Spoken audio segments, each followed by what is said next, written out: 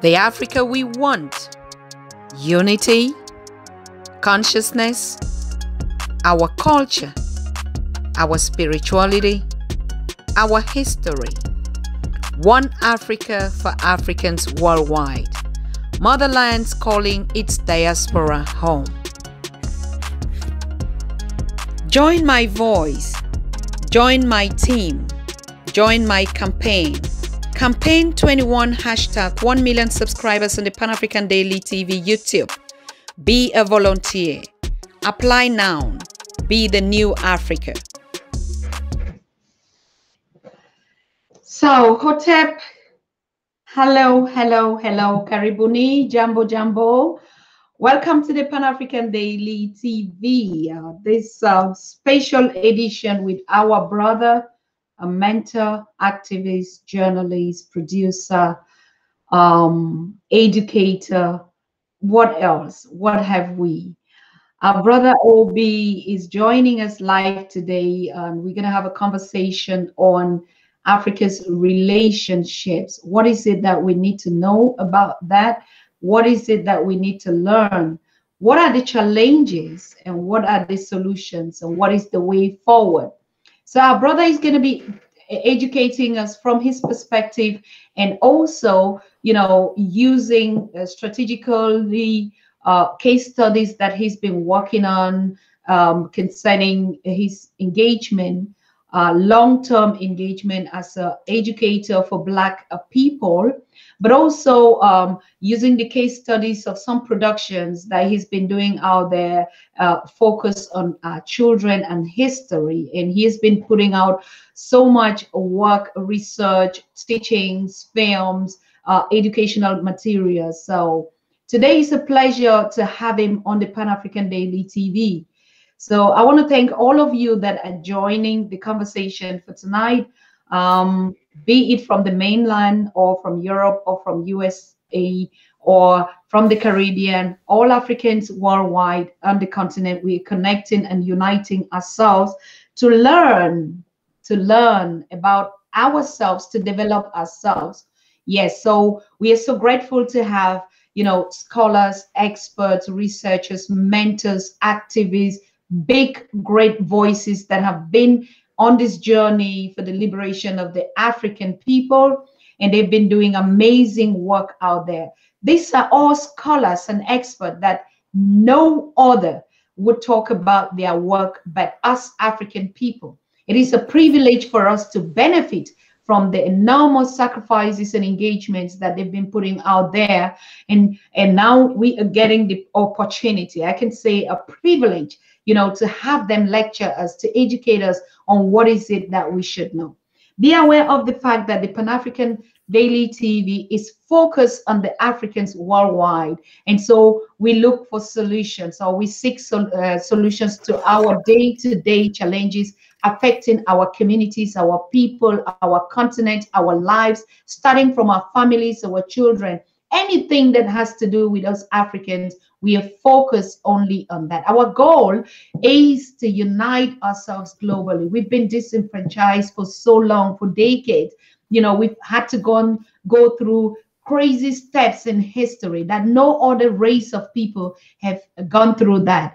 But today, despite all those challenges, we have had scholars and die hard, we call them the die hearts and the brave hearts of Africa, that would not bother to take even a bullet in their head, put out their work out there, put out their engagement, their time. Most of them at the expenses of their families, of their homes, of their wives, of their children, uh, for the liberation of the African, of their race. They are race conscious they are loyal to their to their community and their people they are faithful and they keep doing this day and night among such scholars that we've been having here or experts is our brother Obi Ebukna Jr. He's going to tell us about his work and we're going to get this connection for the first time here in the on the Pan-African Daily TV family. It is a warm welcome. So if you're joining in, please make sure you invite one another, you know, to join us on the conversation today. And like yesterday, it was unfortunate. I don't know if most of you followed the show with Juliet Ryan live from the Gambia, where I was a guest, but it was very, very powerful and interesting conversation. If you haven't done that, we're going to do a premiere. We're going to rebroadcast it live on the Pan African Daily today or tomorrow. Yes. So thank you so much for joining. Now back to the studio to our brother. Brother, welcome. It's so good and so nice to see you here. That you look this time you create time for us to be here spontaneously on the show. I want to thank you so much for being um, here. Welcome. Thank you. It's a it's an honor to be on with you. Beautiful. So, I mean, out here, I'm in Germany, sitting right here, and we have about almost 32 degrees. What's the weather out there where you are? Um, about 90 degrees Fahrenheit. it's oh, hot. Good. So it's like we are in Africa right now. Just that it's yes, it is. like yes, good. Mm-hmm. Fine. So today you want to um, lecture us or to I mean, yes, of course, lecture because that's what the Pan African Daily TV is all about. We are not a debate platform, so we don't mm-hmm. come and challenge one one another. We are educating ourselves from the mm-hmm. miseducation of mm-hmm. our predecessors or our colonizers. So it is a pleasure. We want to talk about Africa's relationships, challenges, and way forward. And you've been doing an incredible work out there. Just tell us a little bit about you and what is it that the audience would have to listen through this two hours conversation that we'll be having with you? Um, well, once again, um, I'm humbled and privileged to be on. We hope what we share today is um, meets your standards for the show and for the listeners out there. I want to thank um, our sister um, Tierney Shere for connecting us with each other. And um, we've been waiting a while to do this. So here we go. So today we'll be talking about um, the Get Out of Cuba Way campaign and movement that we're organizing at the moment. We'll be talking about our work in Zimbabwe for the last 19 years. Mm-hmm. Um, we'll be talking about um, mm-hmm. our Children's History and Theater Company, and mm-hmm. um, we'll be talking about some of the work um, we're doing we're doing in the classroom in the moment, and we'll be talking about our family history. Beautiful, beautiful. Okay, so we would just go back directly to you before we get this exclusive interview. Um, we, we would just like to know who you are, what is it that you've been doing, where you're resident, how's the community out there, and that we get into the conversation. Just to, right. you know, acquaintance. Most of us have been cut out, so when we meet again in the family, we have to start reintroducing ourselves again. Exactly. And, and, I want to start with your name because your name, mm. uh, it sounds. If I look at it, Obi Ebugna. I don't know about Ebugna but Obi is related to Nigerian in the Igbo tribe. Is this yeah. anything to do with that? Yes. Um. Um. Okay. My father was um from Ozubulu, and okay. um the village in in Anambra State in um, Nigeria. Mm. Um, I lived there from three to seven years old. Um, mm. in terms of myself, um, I'm an organizer, of course, but um, skill wise, um, I'm a journalist. I'm the U.S. correspondent in, um, to Zimbabwe's national newspaper, the Herald, uh, mm-hmm. a task and responsibility that I've had since 2008. Okay. Um, I'm the external relations officer of the Zimbabwe Cuba Friendship Association. Mm-hmm. Um, I'm a children's playwright. I'm a co-founder of the Mass Emphasis Children's History and Theater Company and mm-hmm. the advisor to the Mass Emphasis Positive Action and Creativity Youth Brigade. Um, and I'm an African history teacher. I'm teaching um, primarily from kindergarten to um, high school. And I've been an organizer for um, 31 years now. I'm 51. Wow. I mean, brother, so, I mean, it, it's a tradition here. We're always fishing out this kind of knowledge from us to us, like we say, Africans need to be educated now by ourselves. We're rewriting our history. And before we get into the conversation, it's just a question that we ask. Um, you, the knowledge is too much for us to be able to digest in just one session and just in two hours. So it would mm-hmm. be a pleasure if we could keep this like a continuity where you future once in a month or twice in a month, depending on how and because your your your scope is so wide. So mm-hmm put at the end of your at the, at the end of the conversation. So over to you. Yes, we're listening.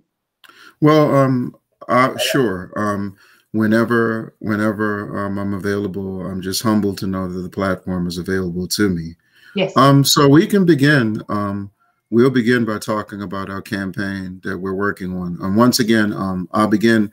I'm the External Relations Officer of the Zimbabwe Cuba Friendship Association. Mm-hmm. Um, for people who don't know the origins of that organization, let me mention that. Um, the late Pan African icon, um, Robert Gabriel Mugabe, um, mm-hmm. former president of Zimbabwe, he's the second African head of state to get the Jose Marti Award, which is Cuba's highest honor. The first person, and that was in 1985. The first person to get it uh, that, that was the head of state was in 1984. That great son of Africa, also no longer with us, Thomas Sankara, Burkina Faso. Mm-hmm. So what happened is between 1986 and 1996, 3,000 Zimbabwean teachers went to Cuba to the island of youth for training. And mm-hmm. because mm-hmm. of that, Zimbabwe today boasts a 97% literacy rate, which is the highest on the African continent. Mm. So while we marvel at Cuba's um, military assistance in Angola for 14 years, their mm. military assistance in Guinea-Bissau, their military assistance in um, Mozambique, the um, we must look at this. We when we focus on the 4,000 medical personnel that they have dispersed throughout the African continent today. So mm. just knowing that they made that contribution to um, Zimbabwe's educational system. So six years after their independence, they were able to come in, send those um, teachers to Cuba for training. So um, I'm the first external relations officer that organization has ever had. How I was recruited into it was 2006 when the Cuban ambassador to Zimbabwe, Cosme Torres Espinosa, who was the highest ranking Cuban diplomat to be deported from the United States, his next detail happened to be Zimbabwe. So when I got there, I paid him a surprise visit. He was shocked to see me, but happy to see me. And he told me that he wanted me to join that organization. So I've been in the organization since 2006. And I was given this responsibility um, four and a half years ago to be the external relations officer. And what that responsibility entails is building ties um, on a Pan African scale with the work mm. we do around Cuba, both on the continent and both um, in the diaspora. Um, when the corona pandemic hit, everybody now knows by now what the Henry Reeve Medical Brigade has done, which is Cuba's international uh, medical task force that goes all over the world, throughout yeah. the Caribbean, throughout Africa, throughout Asia, throughout Europe, where they are wanted. And they have become the face of the fight against the corona pandemic.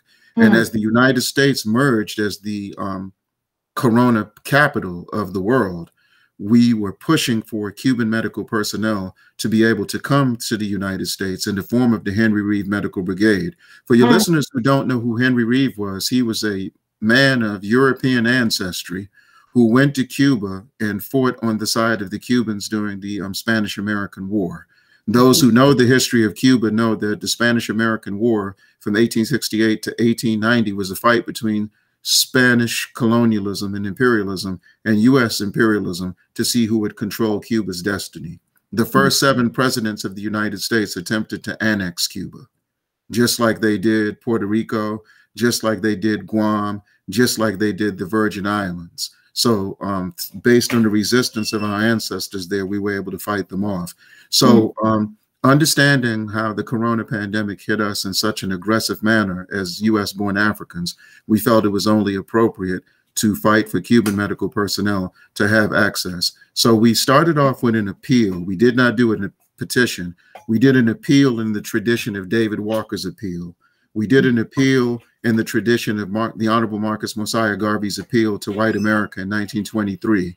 We did an um, appeal in the tradition of Dr. W.E.B. Du Bois' appeal to the United Nations in 1947, where mm -hmm. Eleanor Roosevelt did everything she could to try to sabotage that. We did it in the tradition of the appeal that Brother Malcolm X was working on um, in 1965. And of course, the New York Police Department, FBI, and CIA had other ideas. So we did it in that um, in that tradition. We got organizations from all over the world, organizers from all over the world to sign on to it. And it's something that we're still pushing aggressive, aggressively for. Their mm -hmm. second phase of it is a camp um, to now push for um, us in the diaspora to come together to create a resource pool for the 4,000 Cuban medical personnel dispersed throughout the African continent. Mm. So um, technical support for them, all the stethoscopes they need, all the syringes they need, all the lab equipment they need, all the phones they need, all the computers they need to continue to build on the work that they're doing on a mm-hmm. shoestring budget because we know how compromised they are about the blockade. Um, when I was in Cuba 21 years ago for the Caribbean and Latin American Youth Conference, Comandante Fidel Castro said that during Elian Gonzalez's kidnapping, that the average U.S. citizen learned more about Cuba in four months than they had in 41 years.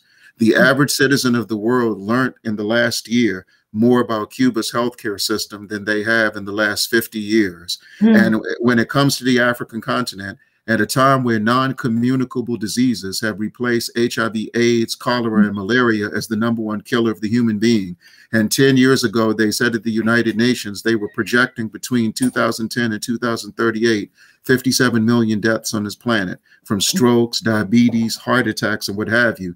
And since we know that the people who have succumbed to corona are people who are compromised with respiratory diseases, this mm-hmm. is why Cuba's support the support for them is necessary. You know about their work during the Ebola crisis in Liberia, in mm-hmm. Guinea, in Guinea, and Sierra Leone. We know about the thousands of young people who've had the opportunity to go to the Latin American School of Medical Sciences in Cuba and return to Burkina Faso, return to Sierra Leone, return to Guinea, return to Nigeria, and be the best doctors that they've ever had. Since 2,200 students in the United States have gone there for medical training, even though they wanted to offer 500 medical scholarships a year. So mm-hmm. this effort is just to complement that. So we had some children in the Mass Emphasis Positive Action and Creativity Youth Brigade. They did an eight minute documentary calling for Cuban medical personnel to come. I think the documentary is eight minutes and 32 seconds, less time than it took terrorist police in Minnesota to snuff the life out of George Floyd. Mm. And then we've had two concerts, Dr. Tata, since um, in July of last year and February of this year. And when you look at the tally of artists, they've been artists representing 10 African nations, eight Caribbean nations, 17 US cities, and five European Union countries wow. who are supporting what we're doing. So um, by the end of this year, we're targeting to begin Zim the Cuban doctors in Zimbabwe, the Cuban mm -hmm. doctors in South Africa, the Cuban doctors in Guinea, the Cuban doctors in Liberia, the Cuban doctors in Nigeria, the Cuban doctors in Ghana. That's mm. where we will begin to create um, resource pools to support them. So mm. that way we give our people an alternative to the United States Agency for International Development. We give them an alternative to the Bill and Melinda Gates Foundation, the Clinton Absolutely. Foundation, the Bush Absolutely. Foundation, mm. all of those who all of those who benefit from the rape and plunder of Africa. So mm. um, we talk about it all the time. We pontificate it all, about it all the time, but we don't offer adequate alternatives. And in a moment where it is time to stand with Cuba to show not just gratitude, to not just talk about what they've done, but to engage in organized, sustainable activity to empower them so they can maximize their potential. And mm. when we take a look at their areas, their best attributes, having the number one gerontology program in the Americas, treating the elderly for your listeners who don't know what that means, the mm. lowest HIV AIDS rate in the Americas, a program in conjunction with Venezuela to eradicate blindness in the Americas called Operation Project Miracle. Mm. Um, and you think about the fact that Africa has 20 million HIV AIDS orphans, Mother Africa. This mm. is what their doctors do in the African continent. And when they're not treating the sick, they train the aspiring doctors and nurses of tomorrow who have decided to reverse the brain drain, who are not going to bring their talents to France, not going to bring their talents to Germany, not bring their talents to Switzerland, not bring their talents to Washington, not bring their talents to New York, but they're going to stay put in their countries and give their people quality health care that they've never received. So that's what hmm. this project represents the fight against the lifting the blockade on Cuba, but empowering them to continue what they've done in the field of medicine since their revolution prevailed in 1959. They have mm -hmm. become the cornerstone of revolutionary healthcare on the planet. And we love the fact that they're impervious to the propaganda of our former colonizers saying that they're engaging in medical solidarity. And the reason it's mm. important to address that is because the stereotypes and the propaganda of Africa's most hateful enemies and detractors is that when we take the path of revolution, we're bloodthirsty. We're willing to sacrifice our blood where we are not bloodthirsty. We are just mm -hmm. as we are we are just as committed to peace as Gandhi or the Dalai Lama or any mm -hmm. or the or a Christian preacher or a Muslim mm-hmm. imam. But it's just that we're willing to sacrifice our lives to get that peace. And through the revolutionary track, we excel in the fields of medicine. We excel in the fields of education. So we are at the forefront now of millennial development goals and sustainable development goals, basic human necessities, basic human needs. And at a time where there are 400 million Africans on the continent that live on a dollar 90 cents a day, and of the 25 countries that meet the category the United Nations called extremely poor, which means that you have there are 784 million people that live on a dollar 90 cents a day, 400 million of them living in Africa. The timing to take on a project of this magnitude could not be better. So we're just honored to be in a strategic position to push it forward. And we're mm-hmm. calling on our sisters and brothers on the continent in different organizations. We're calling on our sisters and brothers in the diaspora in different organizations who know this is necessary to become involved in this effort. History obligates us to do this. Let's be true to history. Let's be true, good children, honorable children to our mother Africa. So that's what the Get Out of Cuba Way um, project represents. So continuing to fight for them to be in to get inside U.S. borders without complications, mm -hmm. and to create a resource pool for their work to continue to flourish on the African continent. So they have an alternative to these imperialist NGOs and these imperialist outlets who are always scandalous in their approach to humanitarian work, because it's very hard for them to be humanitarian based on their historical track record. At the end of the day, we'll be true to our culture and true to who we really are. Hmm. Ooh, um, yes. I mean, this this is this is this is the point. This is the point. Now, um, studying Cuba, Zimbabwe, we know that Zimbabwe is currently uh, under U.S. sanctions for long, just like Cuba was. And now we also they both are. Yes, and so so this kind of relationship is strategic and really on point. You said. Mm-hmm. Well, it's like this. Um, let's go back to the inauguration speech of former U.S. President Barack Obama, his first inauguration. He said the might of our military must be matched by the strength of our diplomacy. So when we take a look at United States um, military efforts, we know that bombing nations for them, assassinating nations for them is just as common as the Ku Klux Klan burning a cross on your yard. It's their hmm. preference. But what he was saying is when they when it's not diplomatically feasible to assassinate a leader, bomb a nation cowardly, they will starve the people to death.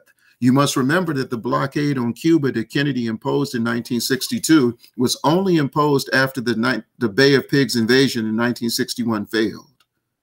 We must understand that the Zimbabwe Democracy and Economic Recovery Act, the sanctions imposed on Zimbabwe, were imposed because of their anger to how Zimbabwe handled themselves brilliantly during what's called Operation Sovereign Legitimacy, where hmm. Zimbabwe's military, Angola's military, and Namibia's military prevented Mobutu's network from being reestablished in the Congo, which was Susan Rice's coming out party and her pet project when she was working under the tutelage of Madeleine Albright. So mm. there, and then of course the land reclamation program was initiated in Zimbabwe after they gave every administration since Jimmy Carter to honor the Lancaster House agreements, where they were supposed to transfer um, the money to, for uh, the Europeans who benefited from British and Rhodesian colonialism to be able to either resettle in Zimbabwe to an, a house more appropriate, an apartment more appropriate, but they procrastinated and the people took it in their own hands. And their response was imposing sanctions on the people for reclaiming their land. 350,000 families in Zimbabwe got to see their land again that had been taken from their ancestors in 1890. And keep in mind, this was at a time where the most recognized and celebrated country in the SADC region, of course, is South Africa. And today, even 83% of the people still, 83% um, of the land is still in the hands of the former colonial rulers. So as great as Madiba Nelson Mandela was, he didn't touch the land question. As great as Thabo Mbeki was, he approached it cautiously. Zuma approached it cautiously, but Zimbabwe approached it aggressively, and they've paid a price for it. But it's a price they're willing to pay because they recognize that flag independence isn't enough. And for that reason, 65% of the agricultural development in that country is being done by women.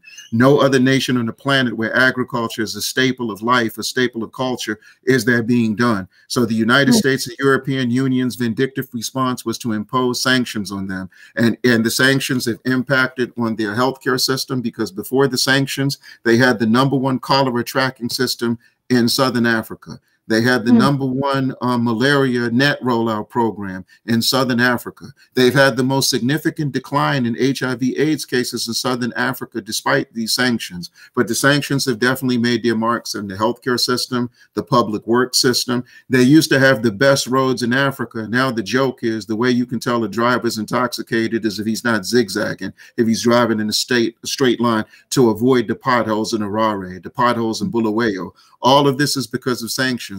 Yet the United States government and the British government try to tell us that the economy being challenged is not because of sanctions, but because of mismanagement. But that is nothing but a lie. And we have seen how diplomatic terrorism, which the sanctions represent in Zimbabwe, which the blockade represents in Cuba, which the sanctions represent in Venezuela, and what our sisters and brothers in Eritrea were subjected to for 10 years because their sanctions were just lifted two years ago. So this has become a method of the imperialists to starve everyday people and use their corporate media apparatus to make it seem like it's negligence on the leadership of the country. And then mm. some, and then their liberal interpretation of this is, oh, well, um, you know, uh, the sanctions do hurt everyday people. It doesn't hurt the leadership. But if the leadership of the country, we're understanding this is revolutionary leadership we're talking about, if they are one with their women, one with their men, one with their children, one mm. with their workers, one with their farmers, one with their teachers, one with their dentists, one with their heart surgeons, one with everybody that's patriotically committed to the evolution of the country's landscape, why would you say it doesn't hurt them? If I love my people, the pain of my people, the suffering of my people breaks my heart. And imperialism is using sanctions to do just that. And we have to organize to stop them.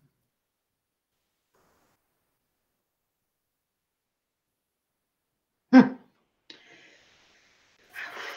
This is great. I mean, we now we we're having in the list of our honorary guests, uh, Brother Obi, and um, I don't know, I'm just speechless because these are all topics that we've been trying to look. I mean, but just at another point not deeper and with facts like what you're saying. It's i don't know how to even thank you or just thank the fact that you are doing this work.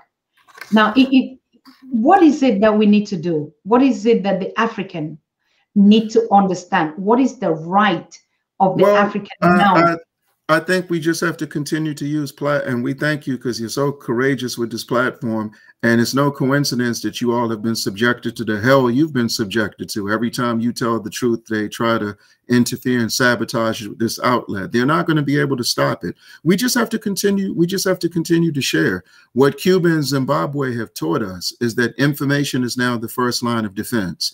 We yes. we fought we fought you on the battlefield. Now, um, at that same organization of Caribbean Latin American um, conference that I was at in Cuba 21 years ago, Comandante Fidel Castro said the war of the 20, the first part of the 21st century will be the war of ideas.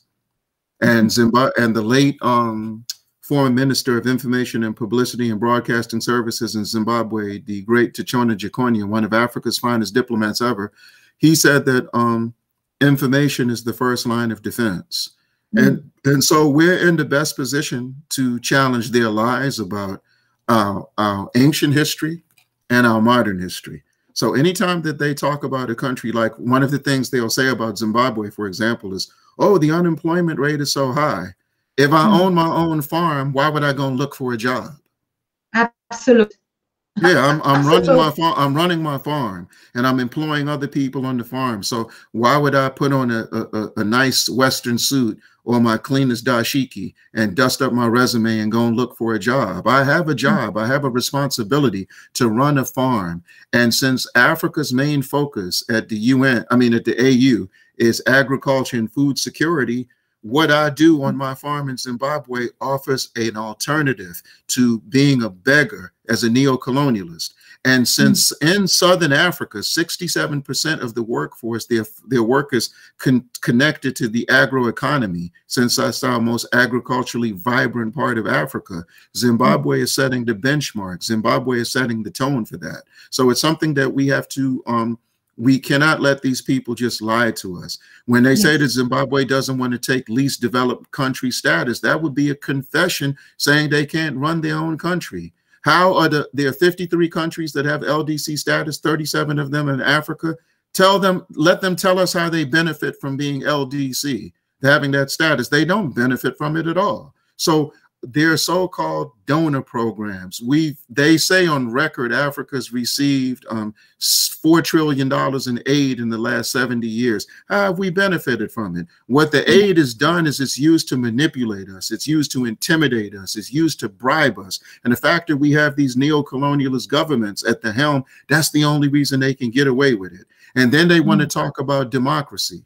But this is the funniest thing about it. And we've been having this conversation with people lately how many um, African women prime ministers and women presidents have we had in the last 20 years? What other continent has had more than us? So when the National Democratic Institute under Madeleine Albright's leadership come to observe our elections, or the International Republican Institute um, come to observe our elections, when the National Endowment for Democracy, which were all created in 1983 after Reagan spoke to European Union's parliament, saying they needed more think tanks to ensure victory during the Cold War.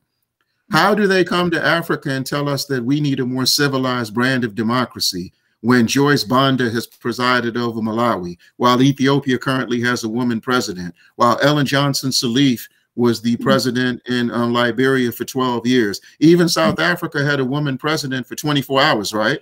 Interim. Mm -hmm. um, Samba Panza was the interim president of the Central African Republic. So how can they come and tell us when all, all they have to show after all these years is a glorified runner-up named Kamala Harris? We should be, and even though we don't agree with the majority of these um, neo-colonialist governments in Africa, it's a testament to the culture that the people have no problem with a woman being at the helm of leadership. So right. how can they come and lecture us about that? This, but it's in the same way that the missionaries came to tell us that we weren't spiritually civilized, even though we're responsible for the um, advancement of Christianity, the advancement of Islam. Judaism is ours. That's why we're so offended when Zionists in Israel torture and um, eliminate Palestinians in the name of a religion that is spiritual expression that we gave to the world. So mm-hmm. how can they come and give us any advice on spiritual direction, on political direction, on humane direction? They're not morally qualified to do it. And because of purse strings, because of bribery, because of intimidation, we can't tell them to go to hell. We can't dismiss them. The only country, they've only been a handful of countries that have done it, but we're moving forward and it is projects like the one we're working on right now that can show yes. our people that there's light at the end of the tunnel. So there's no yes. reason that we can't put all our resources together and tell those Cuban doctors that they've earned it, they deserve it, and we want them to continue their work on the African continent for our mm -hmm. benefit till we are strong enough to duplicate what they have done in Cuba. But we consider Cuba part of Africa because 35 mm -hmm. countries got their independence from settler colonialism between 1957 and 1960. And since the Cuban Revolution triumphed in 59, and since 70% of their people are African, and since those are nothing but Spanish speaking Africans there who were dropped off after being kidnapped from Africa, and even though their names are Rodriguez or Castro or Valdez or Guevara, we, we embrace them just as much as we embrace anyone born because as Osagyefo Dr. Kwame Nkrumah taught us, we're not mm -hmm. Africans because you're, you're not an African because you were born in Africa. You're an African because Africa is born inside of you. So even okay. if you've never been to Africa like the Honorable Marcus Mosiah Garvey, Africa's still born inside of you. And these amputated narratives of our experience that choose to disconnect the diaspora from the continent or encourage us to go country by country, region by region, street by street. We're not embracing any of that no more. We recognize that blood is thicker than water. So we're going to bring our history together. We're going to bring our organizations together. We're going to bring our hmm. agenda together. And there's no force on earth that can stop it. All they can yes. do is come up with watered down alternatives to it, but our vision is clearer than it's ever been before. So take neo-colonialist governments in Africa and give them all the money you want. Have them call Africans back to the diaspora. But the moment that they come back to places and they tell the Africans born in Africa, the only conversations they're having with them is telling them to clean their toilet or to cook their food or to water their mm plants. Those Africans on the continent are going to set them straight and tell them that isn't what we're expecting you to come here and do. We want you to come back like Frantz Fanon came back. We want you to come back like Kwame Ture came back. We want you to come back with the African fighting spirit driving you, not to be part of this neo-colonialist paradigm that is aimed mm at our destruction. So they can they can pump up all these puppet governments that they want who are encouraging our people to come home and engage in mischief, come home and engage in reactionary behavior, come home and then when their sisters and brothers erupt in these different countries, they're going to run to the U.S. embassy faster than Usain Bolt runs on the track field and say, take mm. them back to the United States, take them back to France. We're creating an alternative to that. There's no need to mm. even spend a lot of time belaboring on it. All we have to do is come up with the projects and campaigns and initiatives that are aimed at fundamental change of the existing landscape and the tradition of the fighters that we admire the most who are no longer here with us, but through our work, we keep them alive. Ashe. Asante. Asante Sana. This is powerful, brother. I don't know. I, I, I yeah. Yeah. It is, it is as it is um, you're a journalist, and mm-hmm. we are looking forward on the Pan African Daily TV. Like you said, information is the biggest weapon for in, I mean, information, and we know what we're talking about. Information, information from who to who by who. Yes, That's actually exactly. yes. And I mean, and, and the thing about it is the tradition is so rich. Um, we're we're the extension of George Padmore. We're the extension of Edward Wilmot Blyden. We're the extension of Du Bois. We're the extension of those who've been doing it for the longest time. And mm -hmm. so they think that through the advent of social media, people don't sit down and read a book anymore. They're going to be fooled because you can put all the uh, current affairs in context. You're still going to need a historical framework.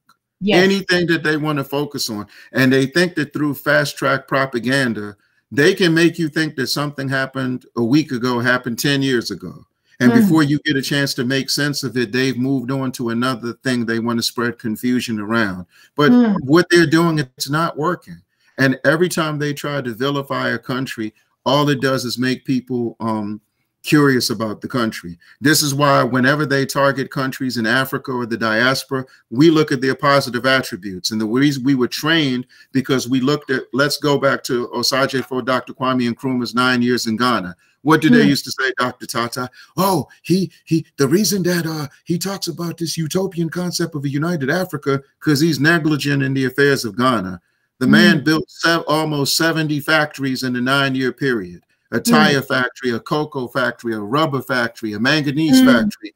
Even Queen Elizabeth said, not that we needed her validation, but she said the roads of Ghana were better than the roads of London. So, how, if you build nearly 70 factories in nine years, education is completely free, healthcare is completely free, you're on the verge of eradicating homelessness 100%, how are you mm. negligent of your country? But if people don't know that and if people aren't paying attention to that, you the fact that you can get them to entertain that for one second. Um they talk about they talk about eritrea. Look what they're doing right now. They're saying that eritreans are massacring the tigrian people. Those are their people. They're the same people. How would they benefit from massacring them? They yes. are angry that ethiopia and eritrea have maintained a peace accord and they can't get any of those nations which they fascistly and racist in a very racist manner called tribes to suggest we're primitive. They can't get them to divide, divide. So they finally come together. They're one people. They're not going to be broken. And it's in the most chaotic part of Africa where they've always been able to run amok in East Africa. So the last thing they want to see is military stability in East Africa. And Eritrea represents that. And this is a campaign to vilify the best fighting forces we have left. So they always say Zimbabwe needs to um, restructure its police and military. They say that Eritrea's um, military is out of control.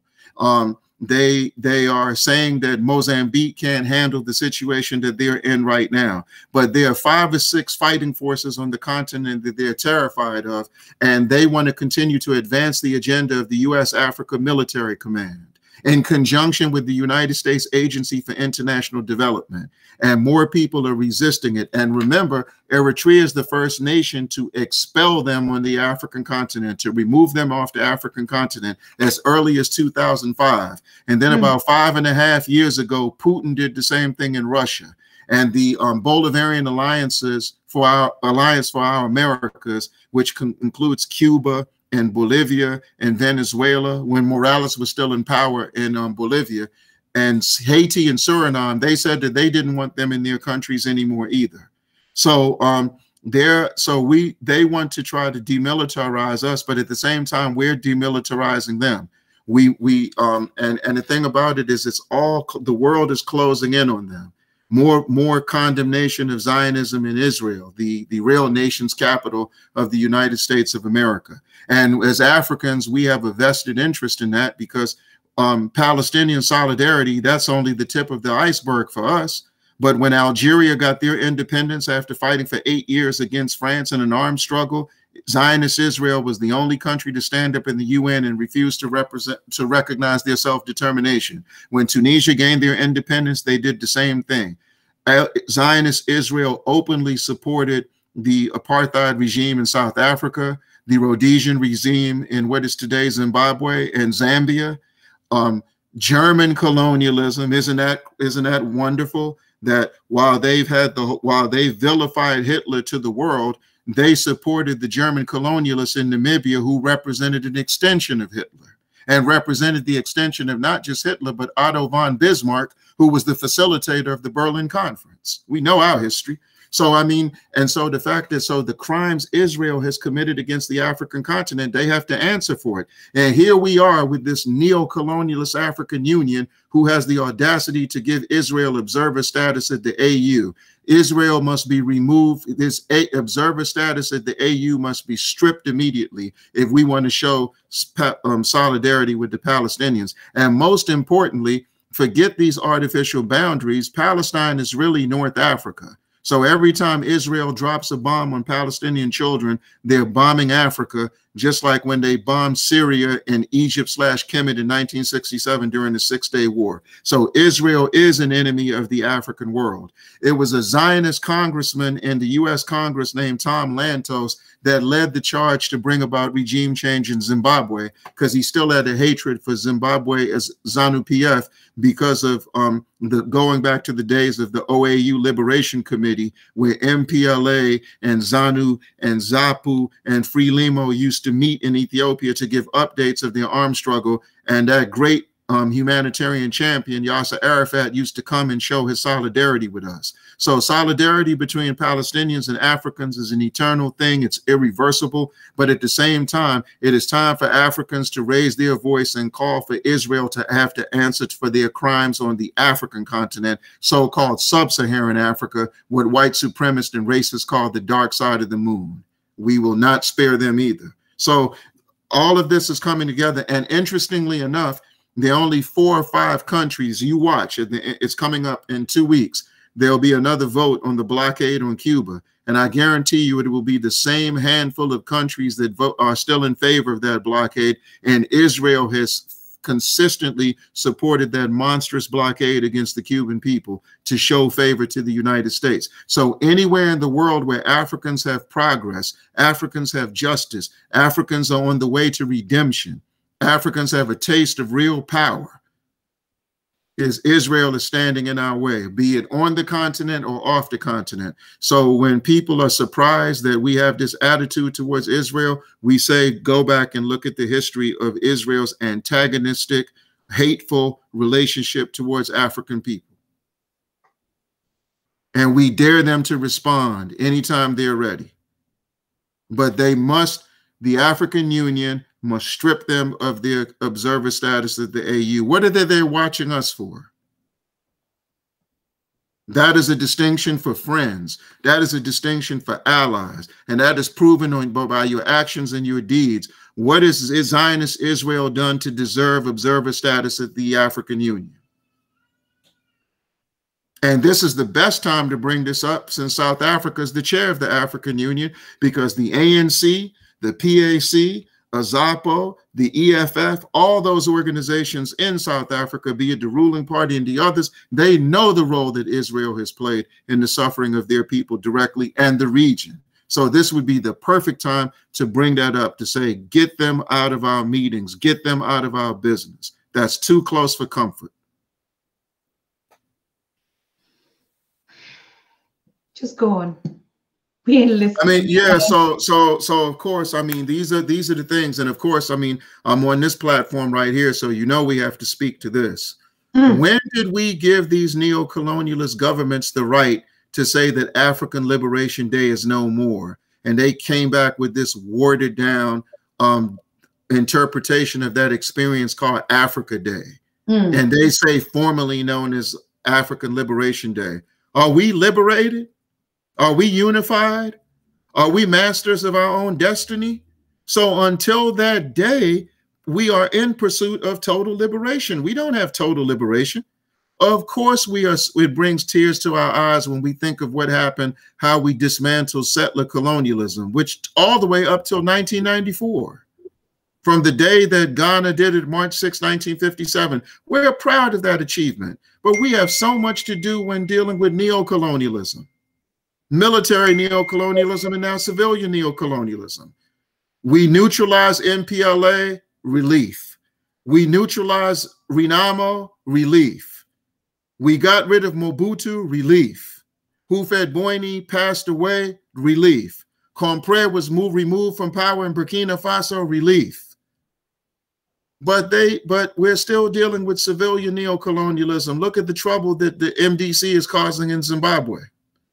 So we are still dealing with civilian neocolonialism. Look at the, the, the, problems that these neocolonialist governments in Africa are causing today. So as long as they're at the helm of power, as long as we have heads of state that wake up and before they even brush their teeth, they're worried about what they can do to make France happy, what they can do to make the Republicans and Democrats in the United States happy, what they can do to make Britain happy. As long as we have that dynamic, how can we have the audacity to come before anyone anywhere and say that we are free?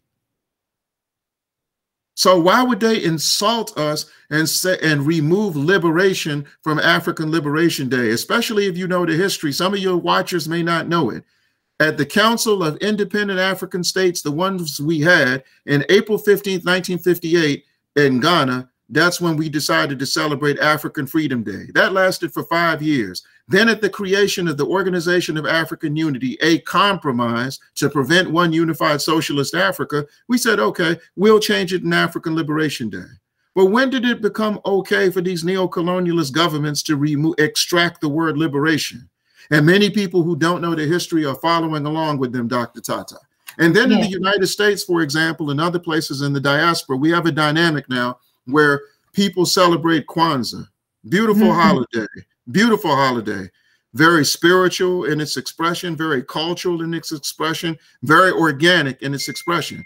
But the same people who celebrate Kwanzaa they go in hiding like they're on the FBI and CIA's fugitive list when African Liberation Day doesn't comes around, and they don't celebrate African Liberation Day. They don't pass that history down to our children. This is why through our theater company, the Mass Emphasis Children's History and Theater Company, four out of the last five years, we have had a play on African Liberation Day. Hmm. Next, ne in the next couple of days in the United States, we will be celebrating something called Juneteenth, when yes. Texas became the last state to end our captivity. But the people who will aggressively celebrate Juneteenth will not celebrate the Day of the African Child. Mm-hmm. On the continent, we will be celebrating the Day of the African Child and won't say anything about Juneteenth. Why can't mm-hmm. we bring those two things together? Absolutely. We must merge our experiences. There's yes. no reason why. We did a play called the National Associate, uh, um, called The Sisters Touch and Struggle. Um, one of my um, parents and students are watching right now. They just text me on the phone. And mm. um, we did a play about an organization called the National Association of Colored Women. Harriet Tubman is a founding member. Ida B. Wells is a founding member. Mm. Mary Church Terrell is a founding member. The third mm. wife of Booker T. Washington, Margaret Murray Washington. This is the 125th anniversary of that organization. But the reason that we did that is because this is the International Year of Women, and we know that we're still a matrilineal people. This is one of the most positive and uplifting aspects of our culture and our collective experience. So this is the reason that we do that.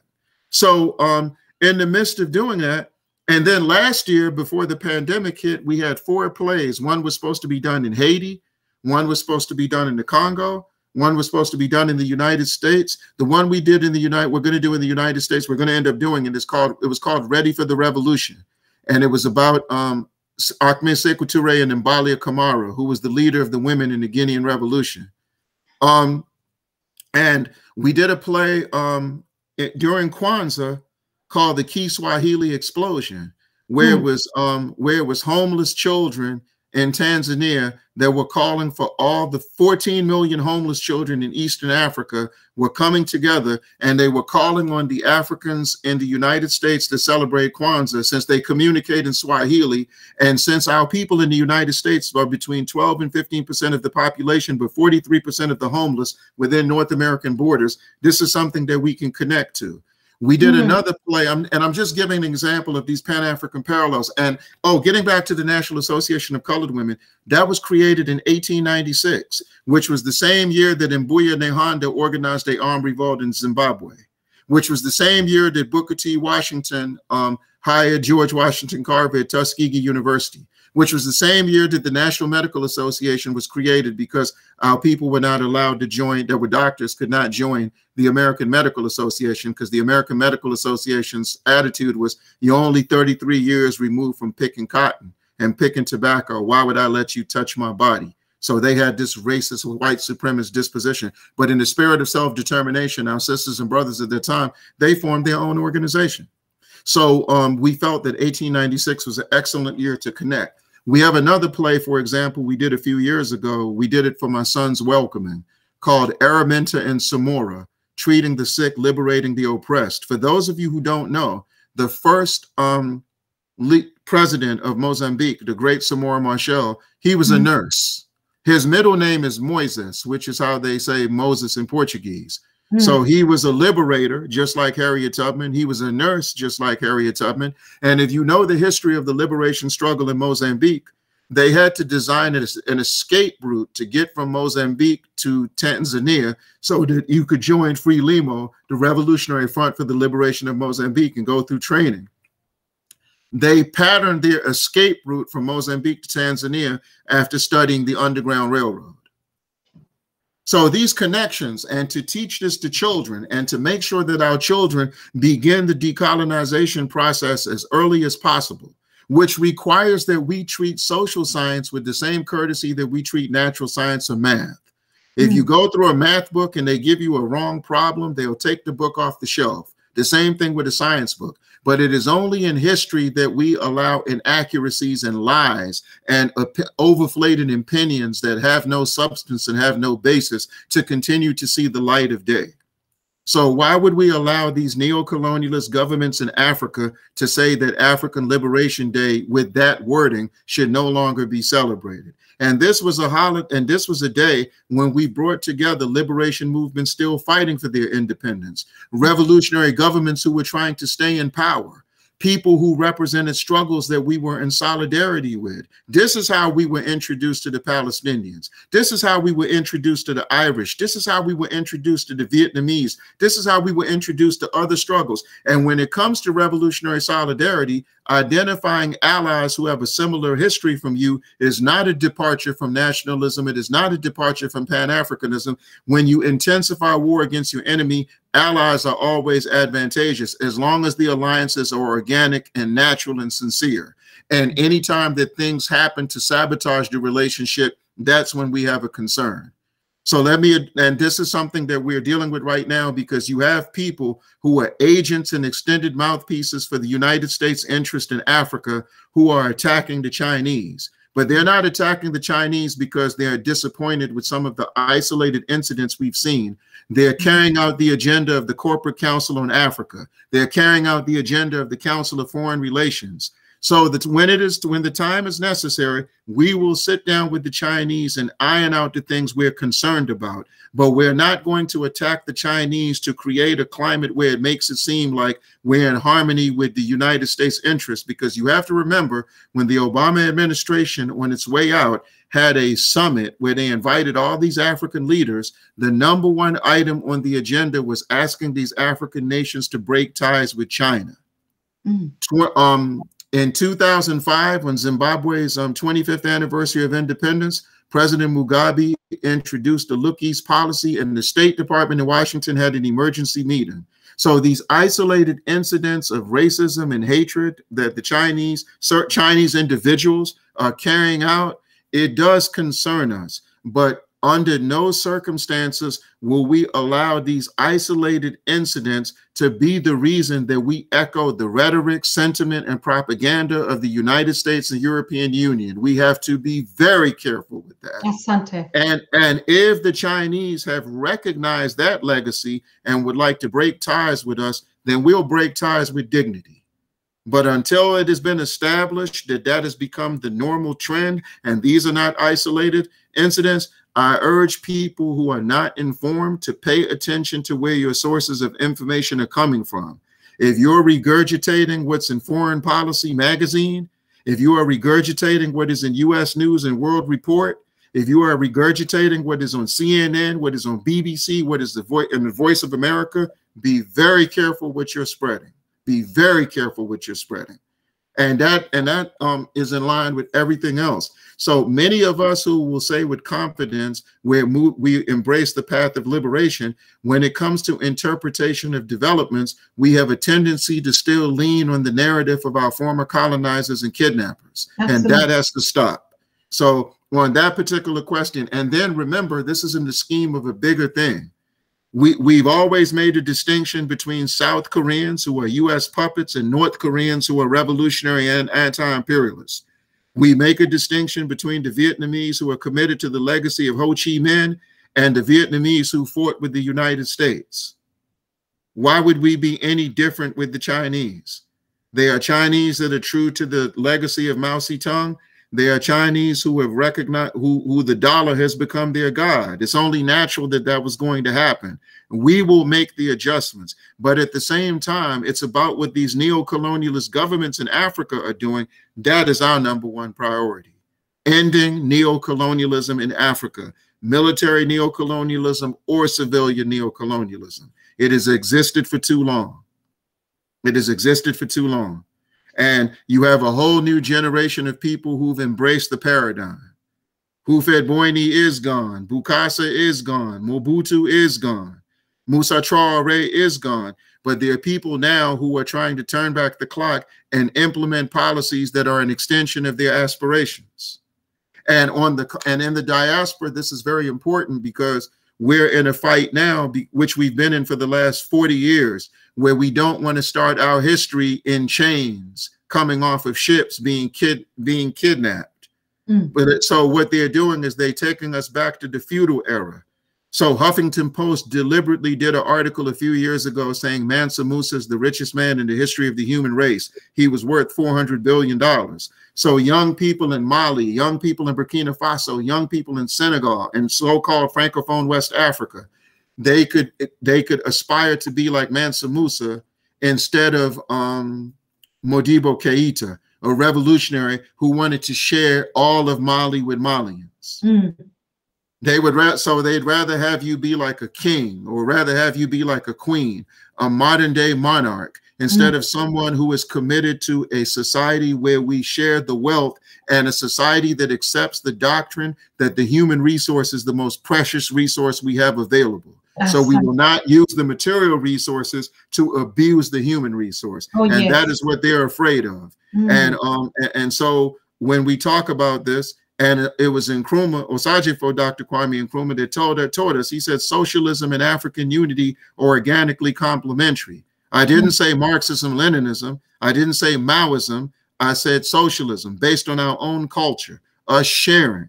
And this is why we don't talk about the communal Africa. We keep talking about the feudal Africa. And we mm. let these chiefs in neo-colonialist tradition continue to abuse power and they help compromise the integrity of every nation on the African continent right now.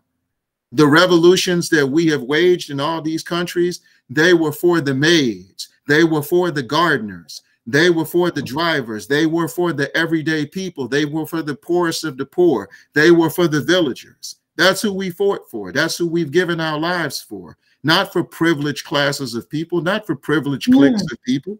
Our revolution mm. never has been about that. And if after all these years, the people who are supposed to benefit the most, if they're still suffering the most, then it shows you how much work we have to do. Oh, and yes. at a time right now where we have to clearly let people know not just what we're against, but what we're fighting for, what we're fighting for. And when you start to talk about what you're fighting for, some of the loudest voices become very soft. And mm. because they realize that they're really not committed to the path of revolution. Share the gold with everyone? How is that possible? Share the diamonds with everyone? How is that possible? Education for everyone? How is that possible? Food for everyone? How is that possible? Empowering our women to the maximum? Are we sure we're ready for that? And they'll be the main ones who come up with reasons why we shouldn't aggressively pursue these things. Mm-hmm. And this is why, and and and we have seen that continue, but we're on top of it now. We're we're ready. Our people, we can tell by the young people, we can tell by the young adults, we can tell by the elderly who have who give us wisdom through their experiences, our people are ready for that fundamental change. And no longer are we preoccupied by the hangup that we're going to stop this fight because we're not going to live long enough to see these things happen. Mm-hmm. Amilcar Cabral didn't live to see Guinea-Bissau liberated. Josiah Tongogara didn't live to see Zimbabwe liberated. Mm-hmm. Um, Eduardo Mondlane didn't live to see Mozambique liberated. But everything they did was to move things in that direction, to create that climate and atmosphere. So the culture of selflessness, the culture of sacrifice, that's the most positive aspect of our culture. Why would we run away from it? We're running to it. And they're trying to do everything they can to prevent it from happening, but they're fighting a losing battle and they understand they're fighting a losing battle.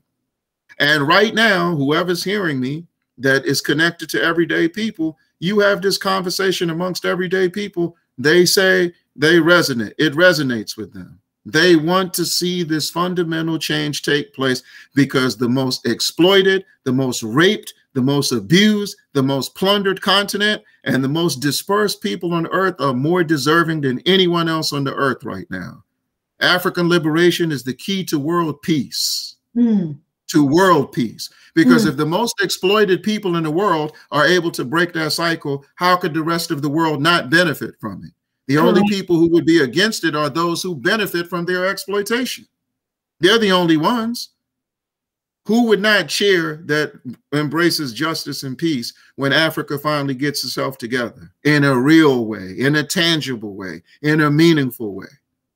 And we've had so many models of isolated places who've shown us the way. The three years Thomas Sankara was in power is a model. The year Sekou Touré was empowering Guinea, we can take the, extract a lot from that. In mm-hmm. Nkrumah's time, Samora Machel's time, what they're doing in Zimbabwe right now, there's many things that we can extract that the rest of that other places have not had a chance to experience yet that would resonate with the masses of their people. Who would not want to be able to farm to feed themselves? and not have to worry about begging Western donors mm. for bread, for fruit, for soup. Who would who would be against that? Who would be against schools in every village? Who would be against hospitals in every village? Who would be against healthcare being free for everyone, education free for everyone, the most quality education? Who would be who would be against Africans in the diaspora coming back, not with a superiority complex thinking that they're destined to lead, but just coming to humbly play their role on the ground. Who would have a problem with that? Nobody. Once it's explained. Who would have a problem with creating political parties that we all belong to, regardless of our religious and spiritual beliefs, hmm. regardless of our agenda? Who would have a problem with that? They put this thing on us, Dr. Tata, 30 years ago, multi-party democracy, one-party democracy. How can you tell us that it's not democratic to have one party that everyone calls their own? How is that not democratic? That re that represents true unity. The only problem is you don't control it. The only problem is you can't install opposition to it that is going to try to sabotage everything that the people are committed to building. Mm -hmm. Why did we abandon the one party? For what? There's no justification for it. Mm. But they were able to convince us. They tell us that our economic models don't work. How have their economic models served us? And you're already hearing people say socialism doesn't work. Well, cap and the problem is capitalism has worked too well. That's why you got 400 million people living on a dollar 90 cents a day. It's worked perfectly. It's set up to create that objective. And for the record, they are they're not even 3,000 billionaires on the whole earth, but there are nearly 500 million people that live on a dollar 90 cents a day. The gap between the wealthy and the impoverished is wider than it's been in the history of humanity. This cannot continue. And Africa definitely has something to say about it. And Africa's response is going to be the most aggressive and the most militant. And they have nightmares about it every single day. Even when we go back to the kidnapping of our ancestors, what's the most uh, upsetting thing about that? It interrupted a struggle we were having with ourselves.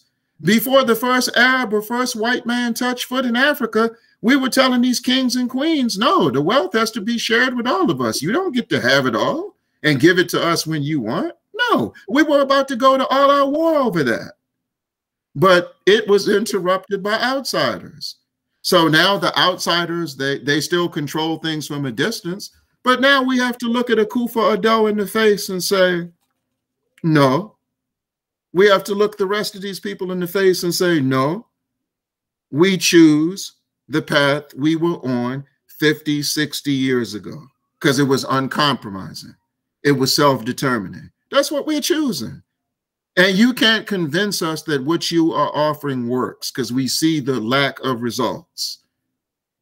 Revolution, struggle, resistance, it's a result. This is all about results. It's not about sentiment. Correct. We are looking at the results. So we know what's in our best interest. Mm. And we're tired of seeing people sacrifice everything for us. We allow them to be villainized, we are vilified, we allow them to be dehumanized, and then 20 years after their death, 30 years after their death, 40 years after their death, 50 years after their death, we come and say, you know, they were right the whole time. Yes. We're not yeah. doing that anymore either. Mm -mm. We're not doing that anymore. You've seen enough examples from the past to know how you should be fighting presently for the purpose of dictating our future. And for those who are not committed to it, those who want to maintain this masquerade, you want to pretend to fight, that's not going to work either. Putting on a red tam on your head does not make you Thomas Sankara. Correct. Your actions do. Your deeds do. Your service does. So speaking at conferences, banging on the podium, screaming at the top of your lungs, that doesn't impress us. It's what you do off that podium. Sankara himself said our revolution is not a public speaking tournament. Why, why are there so many conferences with so many people speaking about things that they haven't executed? Hmm. And when they're talking to you, they're telling you about how they feel about things. They're not telling you about practical things they've done, practical things they're doing. Wow. So that the, that so the whole that whole subculture, that opportunist subculture, it's come to an end. It's time for something different. Why do we con- why do we need to continue to have all these high profile conferences? Why can't we just have private meetings where people put their work on the table, where they can show mm. the results of their work? Yes. People talk about our children all the time. We'll be glad to come, name the place and time, and show you what we're doing with the Mass Emphasis Children's History and Theater Company. And mm. we're confident that when more people hear about it, they'll say, We need that in Mali, we need that in Senegal, we need that here, we need that there. And not only that, then we'll meet the people who are doing that same work too. And they'll say, We can partner together. And then every time we perform, they can perform, and we'll support each other's efforts. The people who are really doing the work are the people you don't hardly see. But the reason is because they're not preoccupied with being visible. They're preoccupied with being productive and impactful. Absolute. Oh God. You don't have to if it, because if I'm spending all my time on on YouTube, if I'm spending all my time on Facebook, conventional wisdom and logic, someone will say, well, wow, if he's always talking, when is he doing this work he's talking about? Yes. You understand? So these are the things in our people's intelligence, our people's ingenuity, our people's common sense. It's heightened, it's escalated, it's skyrocketed. They can see through the masquerade and the fraud. The only thing is, how do we go about on a practical level? Matter of fact, you know what we're living through, Dr. Tata? We're living through the bastardization of methodology. People hide behind ideologies and mm. never get to execute what they're talking about. That's why Cuba is loved and revered everywhere. They right. don't go around giving speeches on the um, legacy of Karl Marx. They make it, they make their revolution practical. You see what their doctors do. You mm. see what their engineers do. You see what their scientists do. And they can explain to you why they're so committed to their way of life. It isn't just the treatment. When they're treating that wound and they're treating that cut and they're explaining to you their healthcare system, when they're explaining to you that green medicine is part of their national health policy, wh where won't that resonate in Africa? And then the children are sitting around watching them treat their parents. Or the children are sitting there watching this doctor treat them that's so patriotic to their nation. Mm. And then that young person is saying, you know, I can be a doctor like this. I can yes. be a nurse like this. Mm. And then we get more Agostinho Netos. We get mm. more Frantz Fanons. We get more Samuel Parirenyatwas, who was the number two person in the first liberation movement in Zimbabwe, ZAPU. He was assassinated by the Rhodesians. In the United States, we'll get more Charles Drews, more Daniel Hale Williams, more Ernest Everett Just, people who have these skills but are driven by the fighting spirit. And we benefit from their skills and talents, and our enemies do not. So, this is why the practical aspects of things are, are important. And you notice when you interview people, they don't talk about what they do, they talk about how they feel. We have to change that. And this is hmm. why, even when we talk about certain historical figures, we quote them, but we don't talk about the work they did. Correct. How, you know what I mean? So it makes it seem like they spent all their time going around giving speeches, which is completely not the truth. Correct. So, so the reason people listen to Robert Mugabe because his educational system showed his commitment to self-determination. Mm. Their healthcare system showed that. Their agricultural system showed that. Mm. What Nkrumah was doing with industrialization, it demonstrated. What Sekou Touré was able to do with the arts in Guinea, what he was able to do with the People's Militia, the first nation in Africa to arm the entire people and tell the people they are the army, they are the navy, they are the air force, they are the marines. No one can protect the country better than them. How can that responsibility be left to a handful of soldiers? Mm. So the practical things these people, these these leaders did, these movements did, these organizations did. Why do we still talk about great freedom fighters in isolation from their organizations? Every time we bring them up, we should bring up the organization they represented. So people Absolutely. will go out there and learn about the organization and then mm. say to themselves, man, I can build an organization like that right now in my country right now in my neighborhood, right now in my community, since there doesn't appear to be one that's like it. Mm. So we begin to pattern ourselves after the organizations and the organizers that we admire and respect the most. This is what they're terrified of everywhere, especially in Africa and, and in the diaspora too. It's the same thing. Someone made a comment, I look like a Black Panther. My father started the Panthers in London in the 1960s. But there are people who think the Panthers was just something that happened in the United States. We had Panthers in Australia, Panthers in India, Panthers in the Middle East. They were Panthers everywhere because Black power hit and it scared colonialism and imperialism everywhere. In Zimbabwe, the Rhodesians banned the book Black Power, and they banned my father's book too about the Black Power movement in London. They didn't even want them to talk about it because at the same time, when Black Power was first beginning to be propagated in 1966, 67, 68, this is when these liberation movements in Africa had taken up arms. And the liberation movements in Southern Africa scared them so much, Dr. Tata, because if you look at them, many of their leaders went to university at Fort Hare in South, what's called South Africa. Mm. And when you were when you were studying in Fort Hare in the 1940s, they gave you Mahatma Gandhi overkill. So you were supposed to be a pacifist. So in the 1940s, the 1950s, they were learning about Gandhi. By the 1960s, they were ready to take up arms. So they knew that. So so they could no longer contain us by trying to give us a, a, um, a pacifist narrative on how to protest oppression. We decided that arms was more befitting. So Brother Malcolm was correct when he said, by all means necessary. So when we need to arm ourselves, we'll arm ourselves. But when we can use demonstrations, strikes, and boycotts and protests that are revolutionary and uncompromising, we'll do it there too. And the biggest fear that the United States has right now is as more Africans go to the continent and they begin to see the um, atrocities they've committed on the continent, we can have protests at U.S. embassies all over Africa at the same time we're marching in the United States. And why would the Africans in the rest of the Americas not join? Why won't the Africans in Venezuela say, my time? The Africans in um, Nicaragua, the Africans in Bolivia, the Africans in Cuba. We're coming together. Even the even the Democrat and Republicans' definition of America is being challenged before, more than ever before. Who the hell are they to say they're America? That's worse than Hitler's Nazi, party or Mussolini's fascist party. There's North America, South America, Central America, Latin America, and it's nearly 200 million of us in the Americas. Why would we cut ourselves off from the rest of our people in the Americas? Why would we cut ourselves off from Africa? And we've always back and forth, always inspired each other. When Dr. King was sitting in jail in Birmingham and wrote that letter, you know what he said? He said, Man, we're sitting here trying to fight against modern day segregation. We're moving like a horse attached to a buggy. You know how heavy a buggy was on the shoulders of a horse. Mm. He said in Africa, they're moving at it like a jet.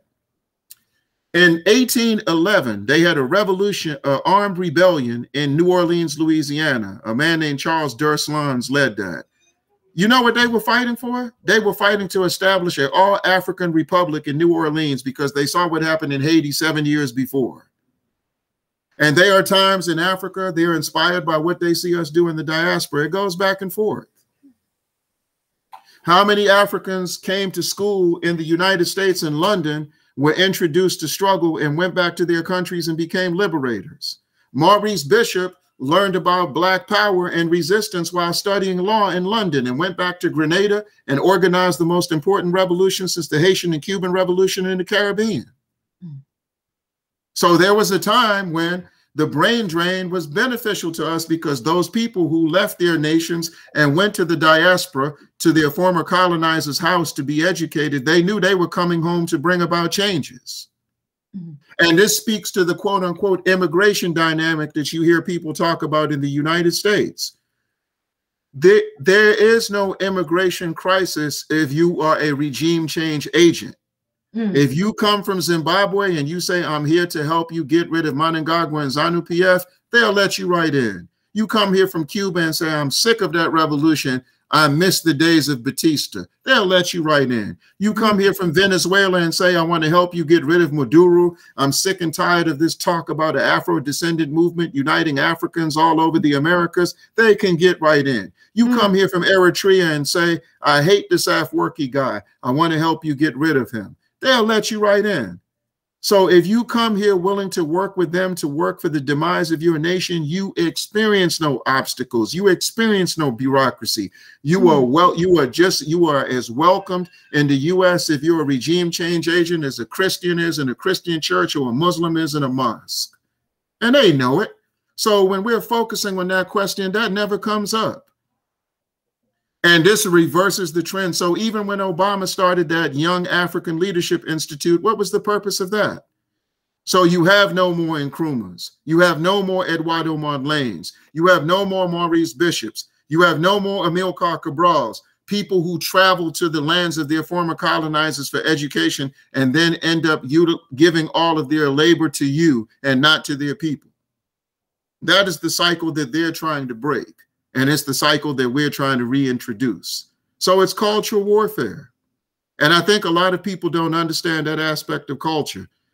Uh, Amilcar Cabral said liberation itself is an act of culture. Sekou Touré expanding on that. Ahmed Sekou Touré, he said culture is the sum total of the spiritual and material values obtained by humanity throughout its history. What does that mean? So when we talk about police terrorism in the United States, it's not legal. It's not political. It's cultural. They cannot exist without police terrorism. So when you say you're trying to end it or eradicate it, you're saying that the United States government has must cease to, to exist. Even if you don't realize you're saying that, they do. They do. So you're calling for a, a, fundamental change of values. When you're calling for a fundamental change of values, you are calling for the overthrow of the existing political order the existing economic order, the existing military order. That that's why when we say what we're fighting for, a lot of people don't understand that or overlook that or downplay that or don't want to go on record because they don't want to be associated with being committed to that objective because they know about the persecution that comes with the territory and they may not be ready to handle it. But at the same time, they know so this is this this is this is what we're saying. So when we say we're talking about dealing with police terrorism, we're gentrification, um, urban renewal, as they call it, um, health disparities, where the wealthy get all the health care and the poor get nothing. You're calling for the most fundamental change there is, even if you don't realize it. So this is a time for us to really reflect, to really concentrate, to be tolerant of e each other's ideas, to be objective, to be more appreciative, and to look at what all of us bring to the table at this point. And to uh, and the most important thing is to make sure that we are the beneficiaries of our resistance, mm -hmm. not our not our enemies. You know who benefited um, most from the activity centered around what happened to George Floyd and Ahmaud Arbery? Joe Biden. The same way when we were children, young in the 1990s, after we brought the country to a complete halt, Bill Clinton, the Rodney King rebellions, as they're called in the history books, Bill Clinton benefited from it more than we did. Absolutely. And that's the other thing, too. We have to decide if we're fighting for power or for justice. If we're fighting for power, you know that those who want you to fight for justice will become your enemies mm. because they don't want you to see any examples of power anywhere in the world. Joe Biden is the main person looking to overthrow the Zimbabwean government. He's one the original co one of the original co-sponsors, him and Hillary Clinton, of the Zimbabwe Democracy and Economic Recovery Act. And get this, a cuddly old white liberal named Bernie Sanders, as a congressman in Vermont, he was in favor of those sanctions too. So as sympathetic as they try to act like they are, they don't want to see you in power. Biden has been planning the overthrow of the Eritrean government. He is more hell bent on overthrowing Maduro in Venezuela than Donald Trump was. So, this is someone that our people are so invested in. But he can only get away with that if we continue to promote the amputated narrative of our experience, where we talk about North America in isolation from South America or the Caribbean or Latin. America or Africa. So we're Pan Africanizing everything our mm. spiritual practice, our music, everything. Mm. So they can't they can't do anything about it. And then when we go back and look at the people who we admire the most, they were doing this before us. I was looking at something, I was sharing it with some people the other day. You know who wrote Lyndon Johnson? After Ian Smith introduced the concept of the Universal Declaration of Independence in Rhodesia, you know who contacted Lyndon Johnson within 24 hours and said, if you don't break ties with Ian Smith, we're going to have protests all over this country? Dr. Martin Luther King called Lyndon Johnson and said that. He said, it's no way you can support Rhodesia. But people may not know that. When John Carlos and Tommie Smith did the Black Power salute in Mexico, the main demand on their agenda was Avery Brundage be removed from the um, Olympic Committee because he was a supporter of Rhodesia and a supporter of South apartheid in South Africa.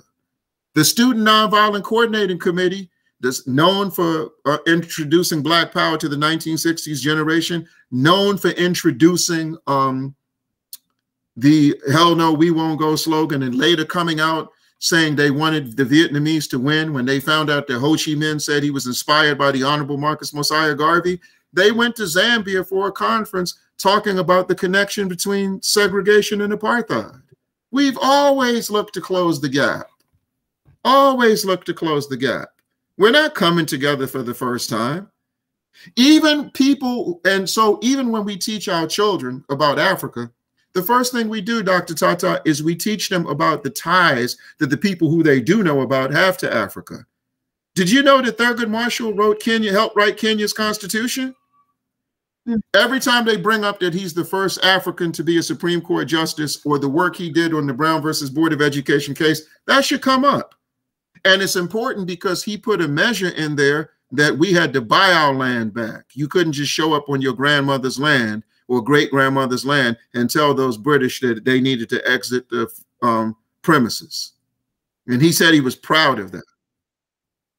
We've mm. been singing a song since the 1920s in the United States called Lift Every Voice and Sing, a beautiful song. The very last, but they don't let us sing the third verse, the final verse. The very last line of the song is true to our God, true to our native land. If they're saying our native land, is our native land Virginia? Is our native land Alabama? Is our native land Mississippi? Is our native land North Carolina? Is our native land Haiti? Is our native land of the Dominican Republic? No, our native land is those 55 nations of Mother Africa. So even then, they were pushing us in that direction. Mm. So yeah, so so every so things are move things are moving in the direction they need to move in. We just have to urge our people to be patient and not to be discouraged. And it is intentional for idiots to have maximum platforms to spread confusion. It is their job. There's no reason to get upset about it. There's no reason. Get upset about it for what?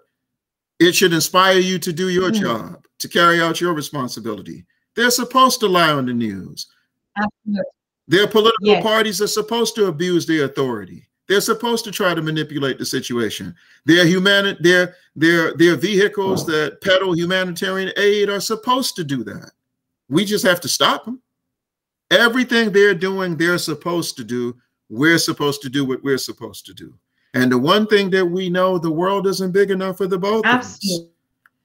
All these people that are treating the assassination of Malcolm X like a Alf Alfred Hitchcock um, television show or Agatha Christie novel, they're supposed to. Malcolm wasn't the last freedom fighter that they've snatched from us. He wasn't the first one, and he won't be the last one. How do we deal with that moving forward? Are we going to create a climate and atmosphere to force the CIA to pull the plug, the FBI to pull the plug? Or are we just going to continue to complain about their atrocities? That's the other thing. We have to change this narrative of victimization to a narrative of resistance.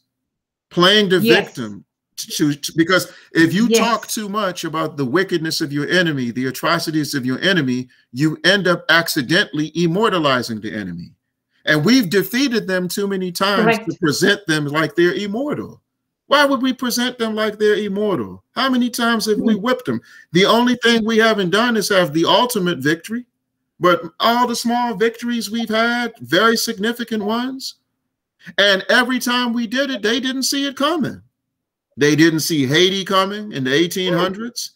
They didn't see Mozambique, Zambia, um, Zimbabwe coming. They didn't see Nkrumah coming in Ghana. They didn't see Lumumba coming in the Congo. They didn't see Mar Michael Manley coming in Jamaica. The element of surprise is the African's best weapon. We don't need to show them everything. If they if they they want to say we're stupid, okay, fine. They want to say we're disorganized, fine. They want to say we've given up. They want to say we've completely capitulated. They can say what they want to say. That shouldn't impact on how we approach the business of struggle. Let them mm. say what they want to say. And then that way it's more sweeter when we make the breakthroughs that are necessary. This is oh, why yeah. we're saying if we are able by the end of this year to get thousands of Africans in the diaspora to say, you know what, man, I'm Ghanaian. I've never done anything for my country. You let those Cuban doctors know anything they want, I'm giving it to them. The mm. same thing in Tanzania, the same thing with the South Africans in the diaspora. Africans born in the diaspora who ain't never been home who say, you know what, I feel a sense of responsibility, I feel a sense of purpose. And before you know it, we have created an alternative to the United States Agency for International Development, to the Bush Foundation, at a time where you have African heads of state acting like Bush's foundation represents the reincarnation of Jesus based on biblical mythology. I respect Festus Mogae very much, the former Botswanan president, but he said Bush has done more for Africa than any um, former U.S. president. The largest highway in Ghana is named after George Bush, not Osagyefo Dr. Kwame Nkrumah. What the hell is wrong with us? But let's have an alternative to his foundation. We can do it. Why can't we do that? And give it to Cuba because they've earned it. And we know there's some of you because they've been saying it to me the last year, Dr. Tata. Oh, well, you know, the, the, the racism in Cuba. Show me a place in the Americas where Europeans and Africans coexist where racism doesn't exist. That's oh, not the issue. The issue is the steps that are being taken to eradicate it. And there hmm. is no country in the Americas where our people were kidnapped and brought that has done more to eradicate racism than Cuba. The Africans that we, at the concert we did, when people saw all these artists doing hip hop, doing salsa, doing jazz, doing blues, doing gospel, we jokingly said, How racist of them to use their resources to empower all these Africans artistically. The face of their space program is an African the the first poet laureate of the country, Nicholas Guillen, who they used to call the Langston Hughes of Cuba, is an African. The largest statue in Cuba mm-hmm. Is of Antonio Maceo, who was called the Bronze Titan, who fought during the Spanish American War. The first all African political party in the Western Hemisphere was in Cuba in 1908. There's a statue honoring those Africans called Partido Independiente de Color in the Independent Party of Color. What so what do you Assata Shakur is safe in Cuba because of their commitment to African people. Mm. So that so when people just say these things, it, it, it's to discourage people. And those who are saying this, all we're telling you is to be careful because we're trying to send young people to Cuba to be trained medically, to come back to the mm. poorest parts of the United States, the poorest parts of the Caribbean, and the poorest parts of Africa to treat their people. We don't need you putting doubts in their head. There was even a, a communique, a Ghanaian student was in Cuba, medical student, and he was playing basketball. He got sick, he died. And they started talking about the negligence of Cubans towards Ghanaians. That was by design because if you know the history, the first leader in Africa to come out in support of Cuba was in Osagyefo Dr. Nkrumah, and then Gamal Abdel Nasser the very next day. So you're now going after Ghanaian Cuban solidarity. Good luck with that. And if anybody knows the impact of the blockade, it has impacted on everything in that country. Their ambulatory care, and even in spite of this, they're doing these this marvelous work in the field of healthcare. But they are setbacks occasionally. But for the National Union of Ghanaian Students to open their mouth the way they did, under the instructions of the United States, more than likely, and that's all they can do because do you think that they're going to, um, Ghanaian students in Ghana are not going to go to Cuba for medical school when they have the opportunity? Do you think the Cuban doctors are going to stop coming to Ghana? But this is what they were trying to do. So they try to exploit the situation and they're always trying to exploit situations and and they think that this is going to help doctors without borders and the gates foundation and all these other imperialist outlets to to to be the face of um human a humanitarian turnaround how can mm -hmm. those who rape and plunder you be responsible for your humanitarian turnaround their culture is based on raping and plundering you exploiting you preventing you from being self-determinant how can they now come and change that? So these are one of the, these are the type of things that um, we we we are paying attention to and, and we're dealing with, and um, it's okay. I mean, so the decolonization process is going to take place, and um, we we want to build on what people have done before us. So, um, like for example, the play we told you about, the Kiswahili explosion, where we were mm-hmm. dealing with homeless children in East Africa. One of the reasons I wanted to always do a play in Kiswahili is because about eight years ago, out there's a school called Nation House in D.C., one of the powerhouse African independent schools, and they were doing Julius Caesar in Kiswahili. So it, it threw me off. But then I went and read right away and found out that Mwalimu Julius Nyerere um, wrote, rewrote Julius Caesar word for word in Kiswahili.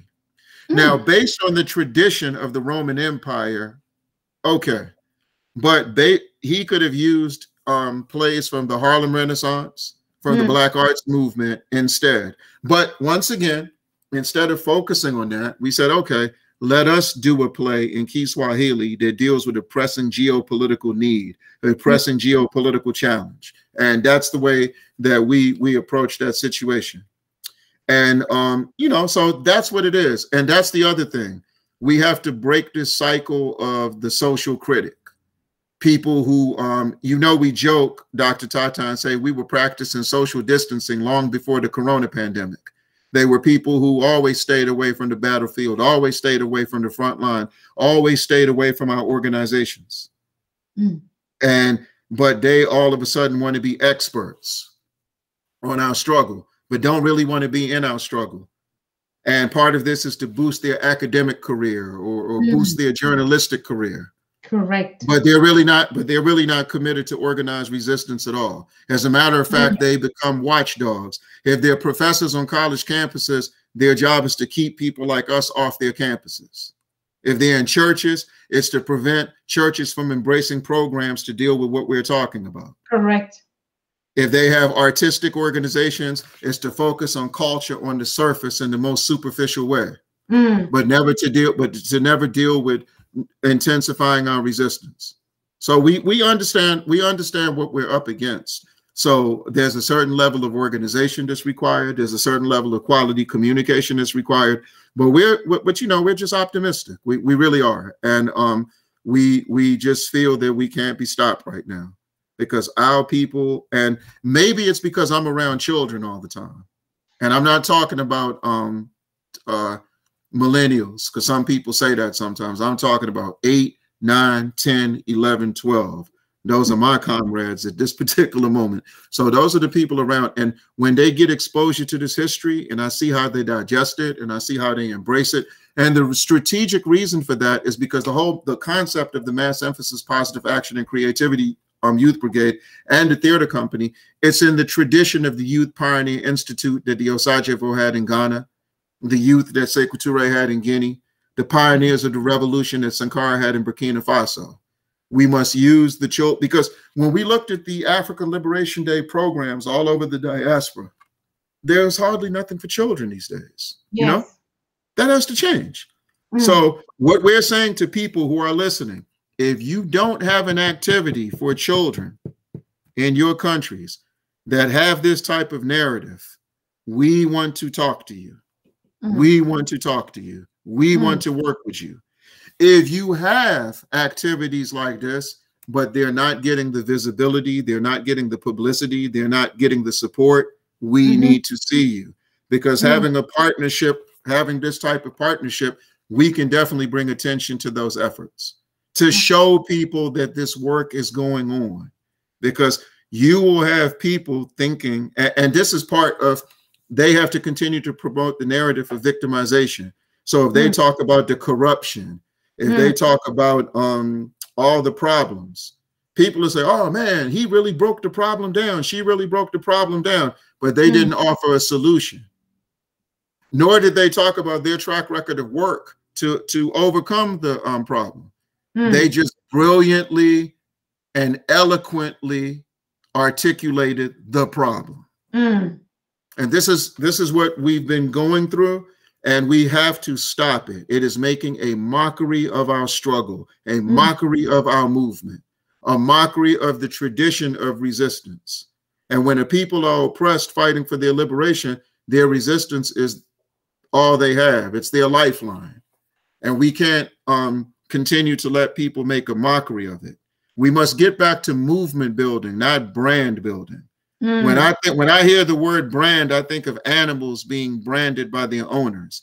I think of our ancestors being branded on plantations. Mm. I think of our ancestors being branded to reinforce the fact that they would, or the only thing they would ever be in this life was colonial subjects. Mm. So I don't even like hearing the word based on what it traditionally means. But I understand that we have a tendency sometimes to try to put a positive spin on negative verbiage. But with that being said, no, no, no, no, we have to get back to movement building and Mhm. self determining movement building. Don't come to me, or don't come to us, rather, spewing all this rhetoric and George Soros finances you.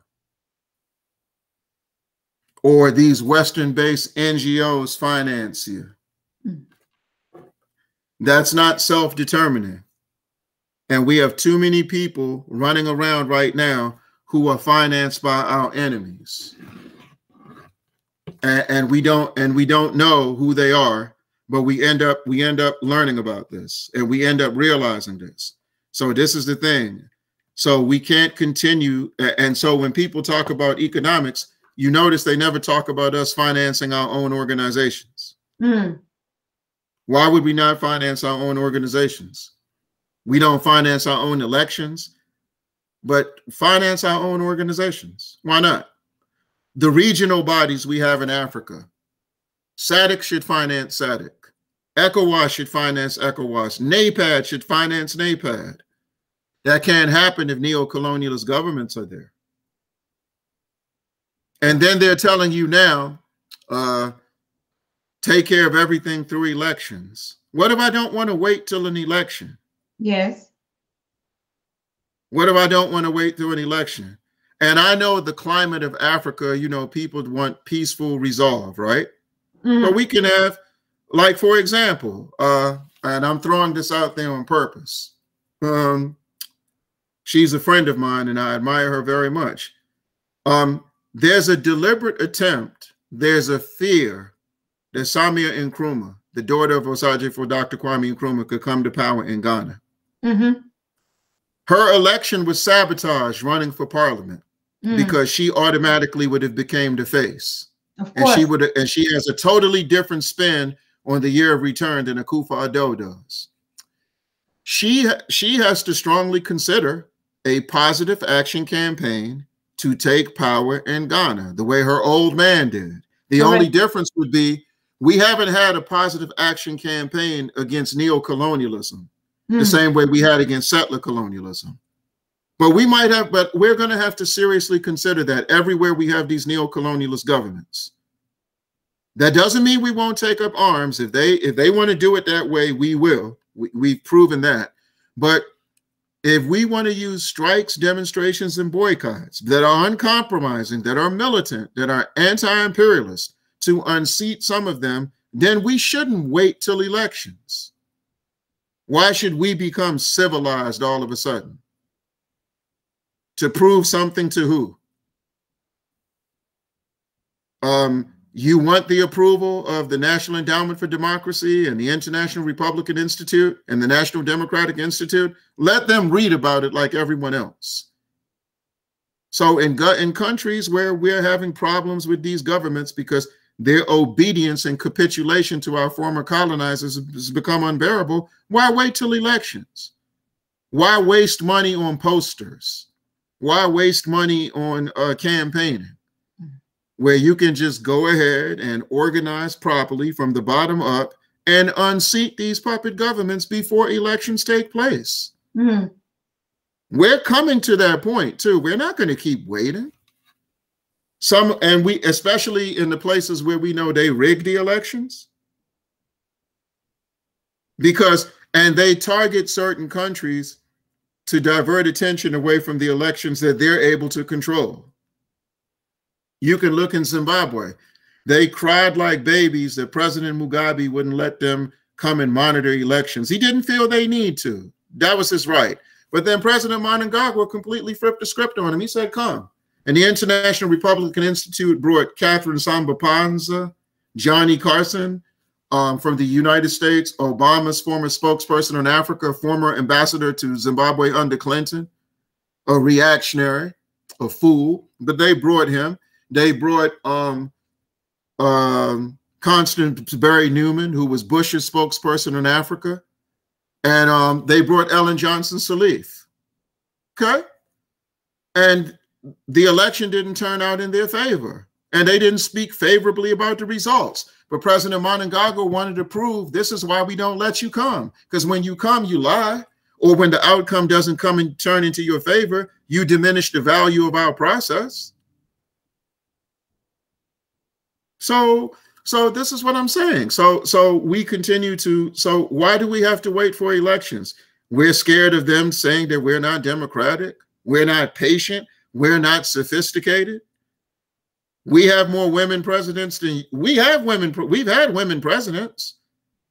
So they can't say we're not sophisticated. So the things that we have been hesitant to try become more appealing in this mm. particular situation. They just do.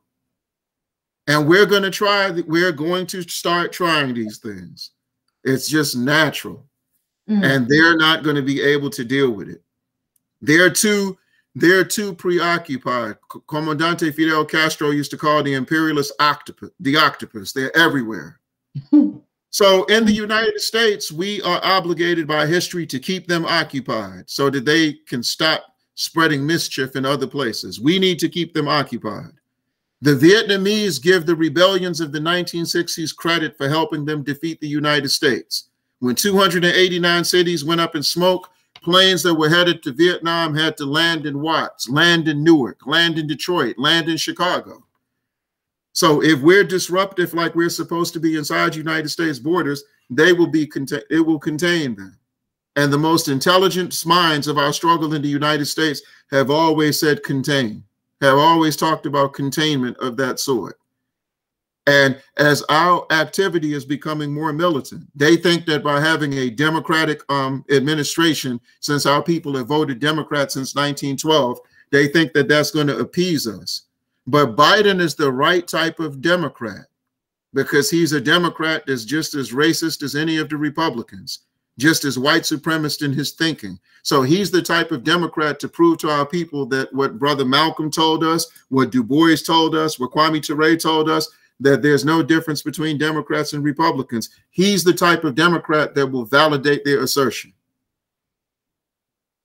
So we're happy to see that there is that type of Democrat that can be as Republican as the most Republican, a true white supremacist, a proud white supremacist, Joe Biden. So to so this help it actually is very helpful. We're we're jubilant. Now we don't care who won the election, but you still strategically have to pay attention to how it impacts the climate and atmosphere, scientifically speaking. So we know that him being in this position, knowing how Zimbabwe makes him vomit, how Eritrea makes him vomit, how Venezuela makes him vomit.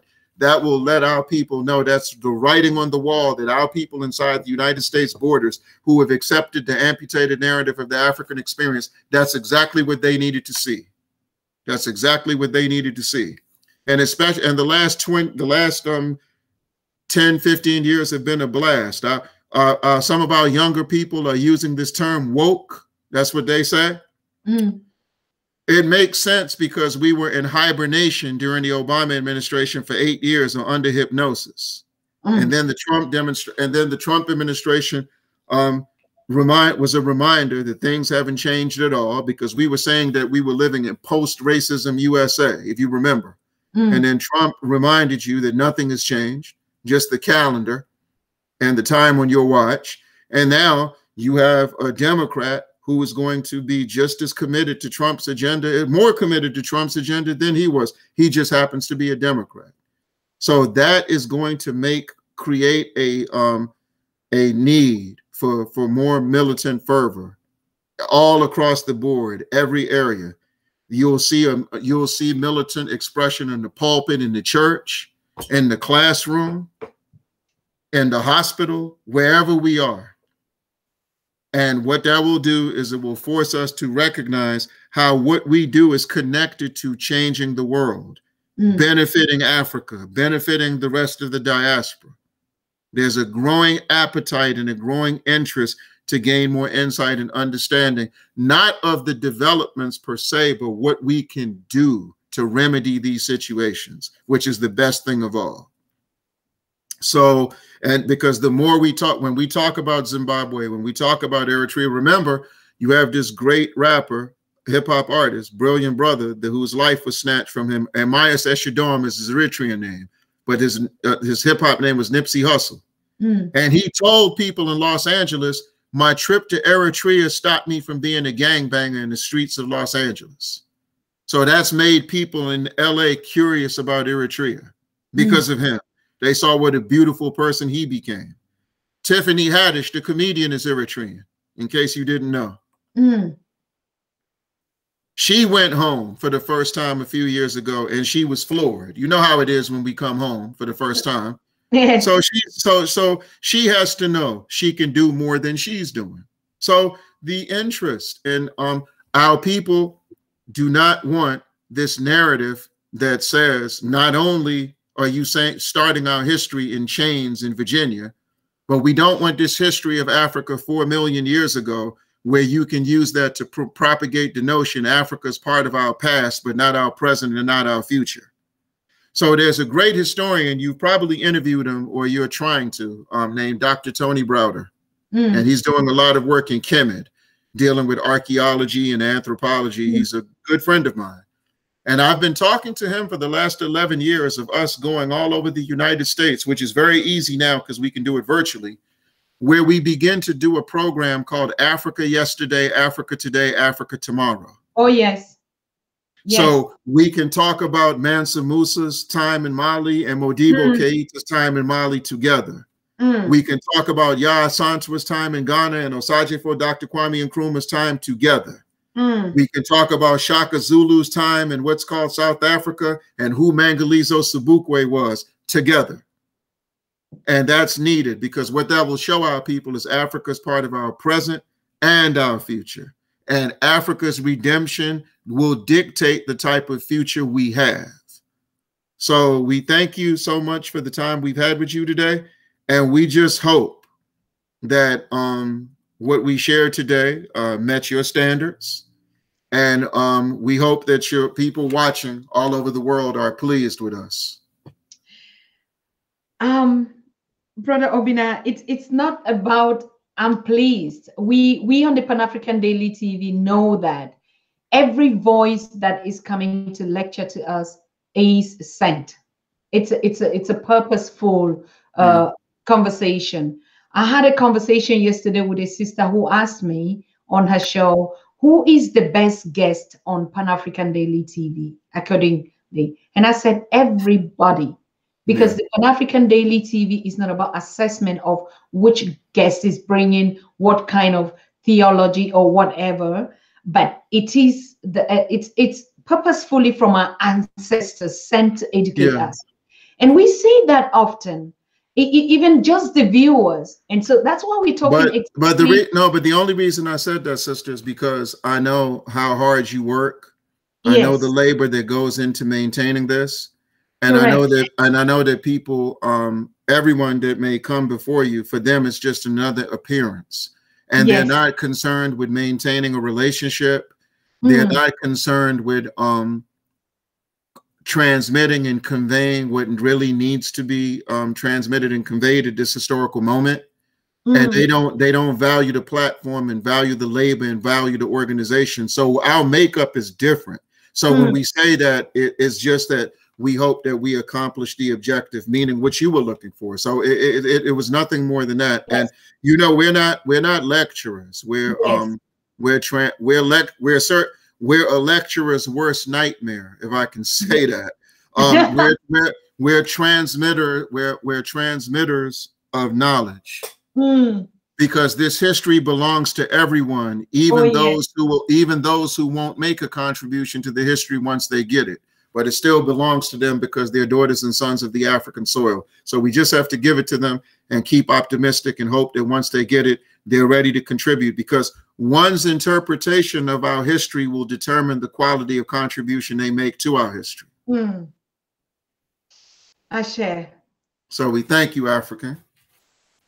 Thank you, Africa. Exactly. That's the point. We thank Africa. It's it's it's it's it's I don't know. It's an honor, and we're thanking you also.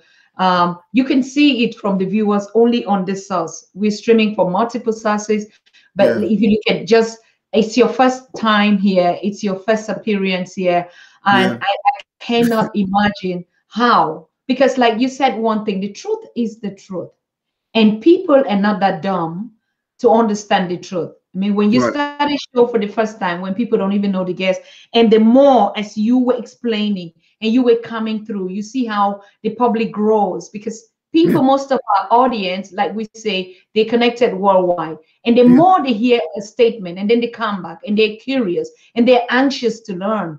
And that's how we understand that we are on the right track from our ancestors. This is a voice calling back the African to order, to consciousness. Yeah, this is the voice that is actually activating those codes.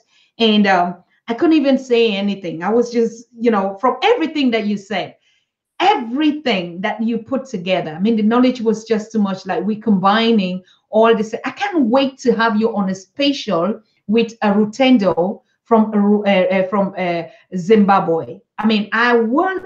It's an obligate. I would have to have you and Rutendo on Yeah. a Sunday spatial. If you can already look at your calendar, he was When- also watching and he was like, "Who is this?"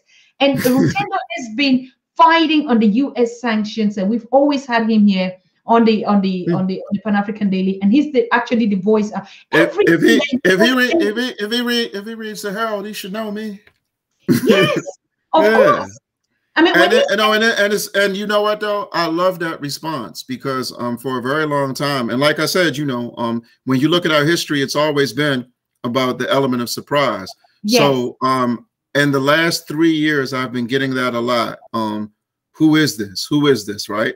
And so when people see us, because we're not, we don't go beyond the call of duty to be visible, but that way, when we're visible, we have a lot to share that people can look at and verify. Mm, And that that and that's just the best, you know, that's the best way to approach the struggle of ours. And um, you know, so we're oh, and we're based in Washington D.C. But I was born in the U.K. though, because I see somebody just asked that question Yeah. and um i'll close on this um we have um my father's book Destroy This Temple which was about the black power movement and black panther party in britain is being re-released this year mm, so when we re-release the book we're going to come on and um deal with it but we'll be willing to come on um anytime uh, and, and just you know serve you know what i mean so thank, Thank you so you. much thank you Thank thank you you. thank you thank you Thank you. and we're lucky and we're lu- and we're lucky to have you. Oh, I, i've heard so many wonderful things about you, and when I heard about the challenges on Facebook, I said, "Oh, I definitely want to go." That motivated me to want to come on. Thank you so much, brother. Like I'm saying, they didn't see Obi coming. Like you said, they didn't see Mhm. the Madagafoli coming. They didn't see the Malawians coming. And so today we're saying the same thing. Even Africans, uh, they didn't see Obi coming. So it is. Thank you, brother. I don't even have Thank you. anything more to say. Thank you. Regards to the family, I would meet you in the in uh, after the show, and then we can plan the way forward.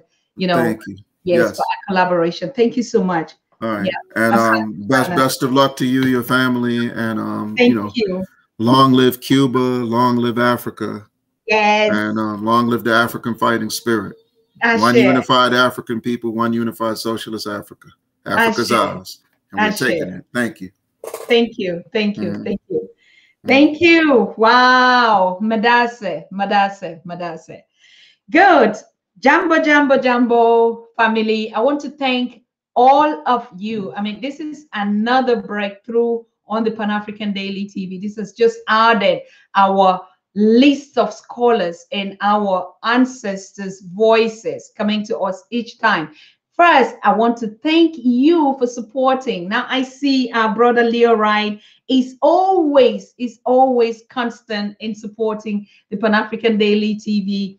I mean, it doesn't matter how much, but he is constant doing that every time, putting money into the purses where we pay the bills, where we support the program, where we uh, uh, uh, support the printings and the communication and everything. We are not, just like our brother said, money is never been our focus, but you supporting us to get these programs through, it is just uh, uh, one of those actions that I say all of us are great. All of us are freedom fighters. Even if you're just watching, you are part of our guest. You're part of this journey. All of us are the same. We are on the same level. We even don't have hierarchy in Pan Africanism. Because if you are true Pan African, like our brother just said, we are all called to serve. And so we are not going to be worshiping people when they are not accountable, when we don't see track records of their work. And so the Pan African Daily TV guests are those that we actually see. It doesn't matter they must not be really high scholars, even just the young ones that are coming up, you know, that are struggling to get into it. They are pulled to it. They are one of the biggest voices, and we're giving the platforms to them. So it has been a wonderful play. I mean, I'm just, I'm just like, I'm exploding. And I want to give a big shout out to our queen, uh, teenage Sheree, because it's Sheree who actually introduced Naisha our our our princess of the Pan African Daily TV, my daughter, my sweetheart, my everything, my God given. And you can imagine we have never met Naisha and I. Naisha is a daughter, a princess of Zimbabwe, studying here in Germany, and she just got caught up in this program as young as she is. And she reached out to us and say, Dr. Susan, I want to help. I want to be your PA. I want to serve and she's doing incredible job when we meet this kind of speakers she she does a lot of research on them contact them connect them it's the same thing like patrick Kasurim. patrick Kasurim is just a humble noble guy from the Turkana city one of the most remotest area in the heart in the in the in the villages of kenya yeah. This these ones that you really say they are the sons of the poorest of the poorest like our brother was saying. And we also got connected with patrick Kasurim on this journey. We've never met each other. We've never seen each other. But the level of work and engagement none of us have complained that we are tired. None of us have complained. We every day we are working and doing just our work and we do it passionately.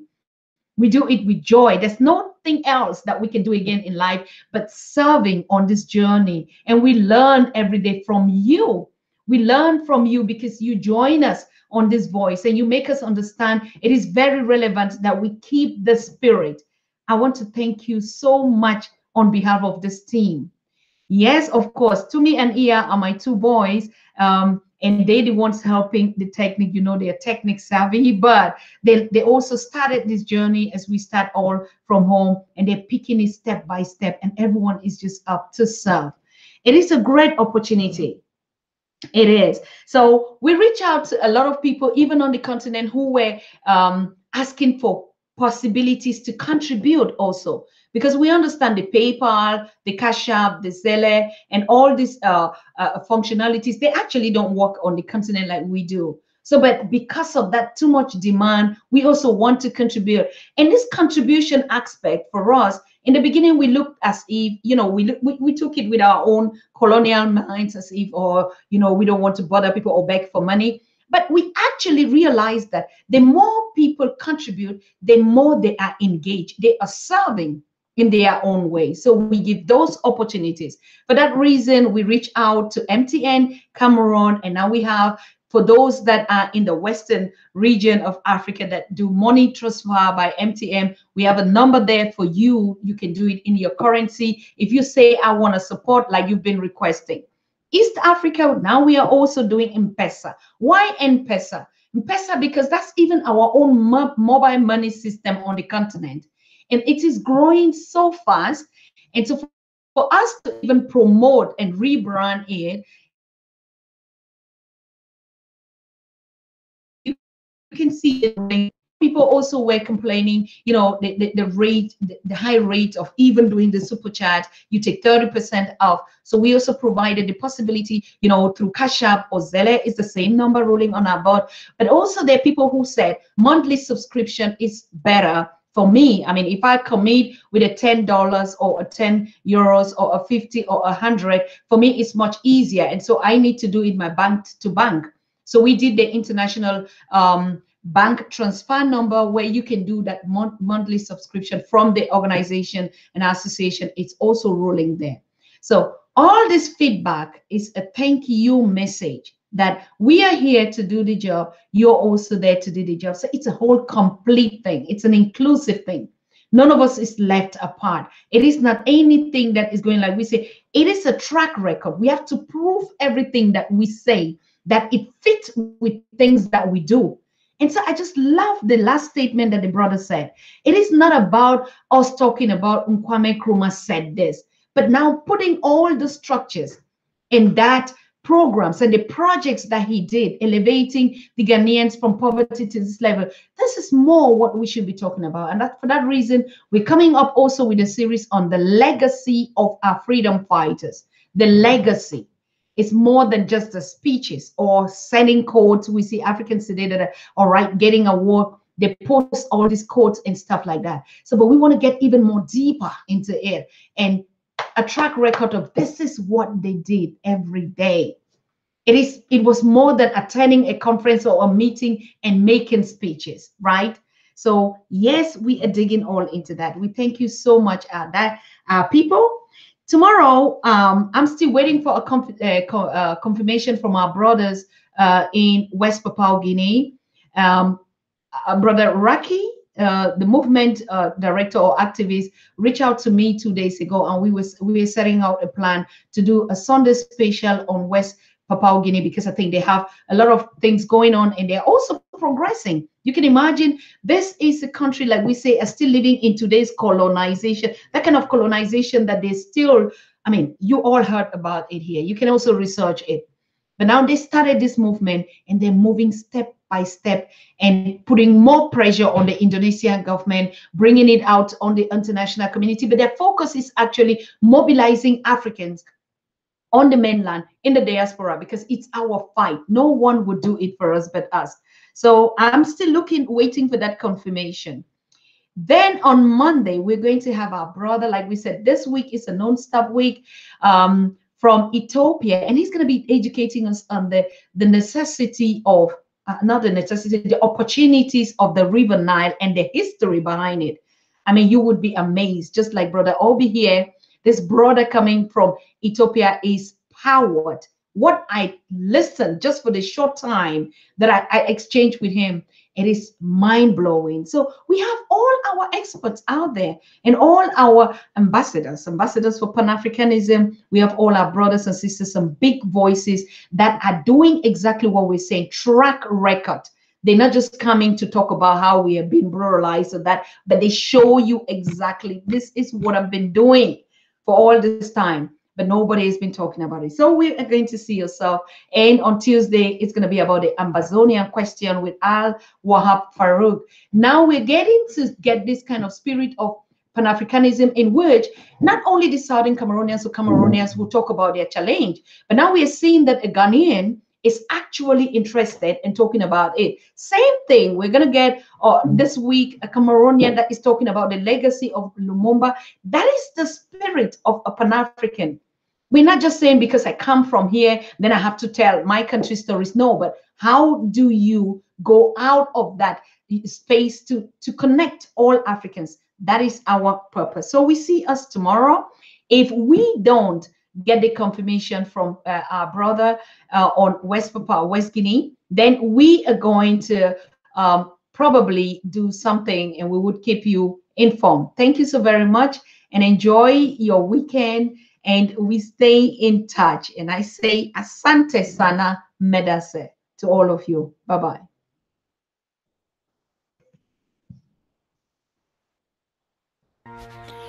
You are watching the Pan African Daily TV with Dr. Susan Tata. The Africa we want unity, consciousness, our culture, our spirituality, our history. One Africa for Africans worldwide. Motherlands calling its diaspora home. Join my voice. Join my team. Join my campaign. Campaign 21 hashtag 1 million subscribers on the Pan African Daily TV YouTube. Be a volunteer. Apply now. Be the new Africa.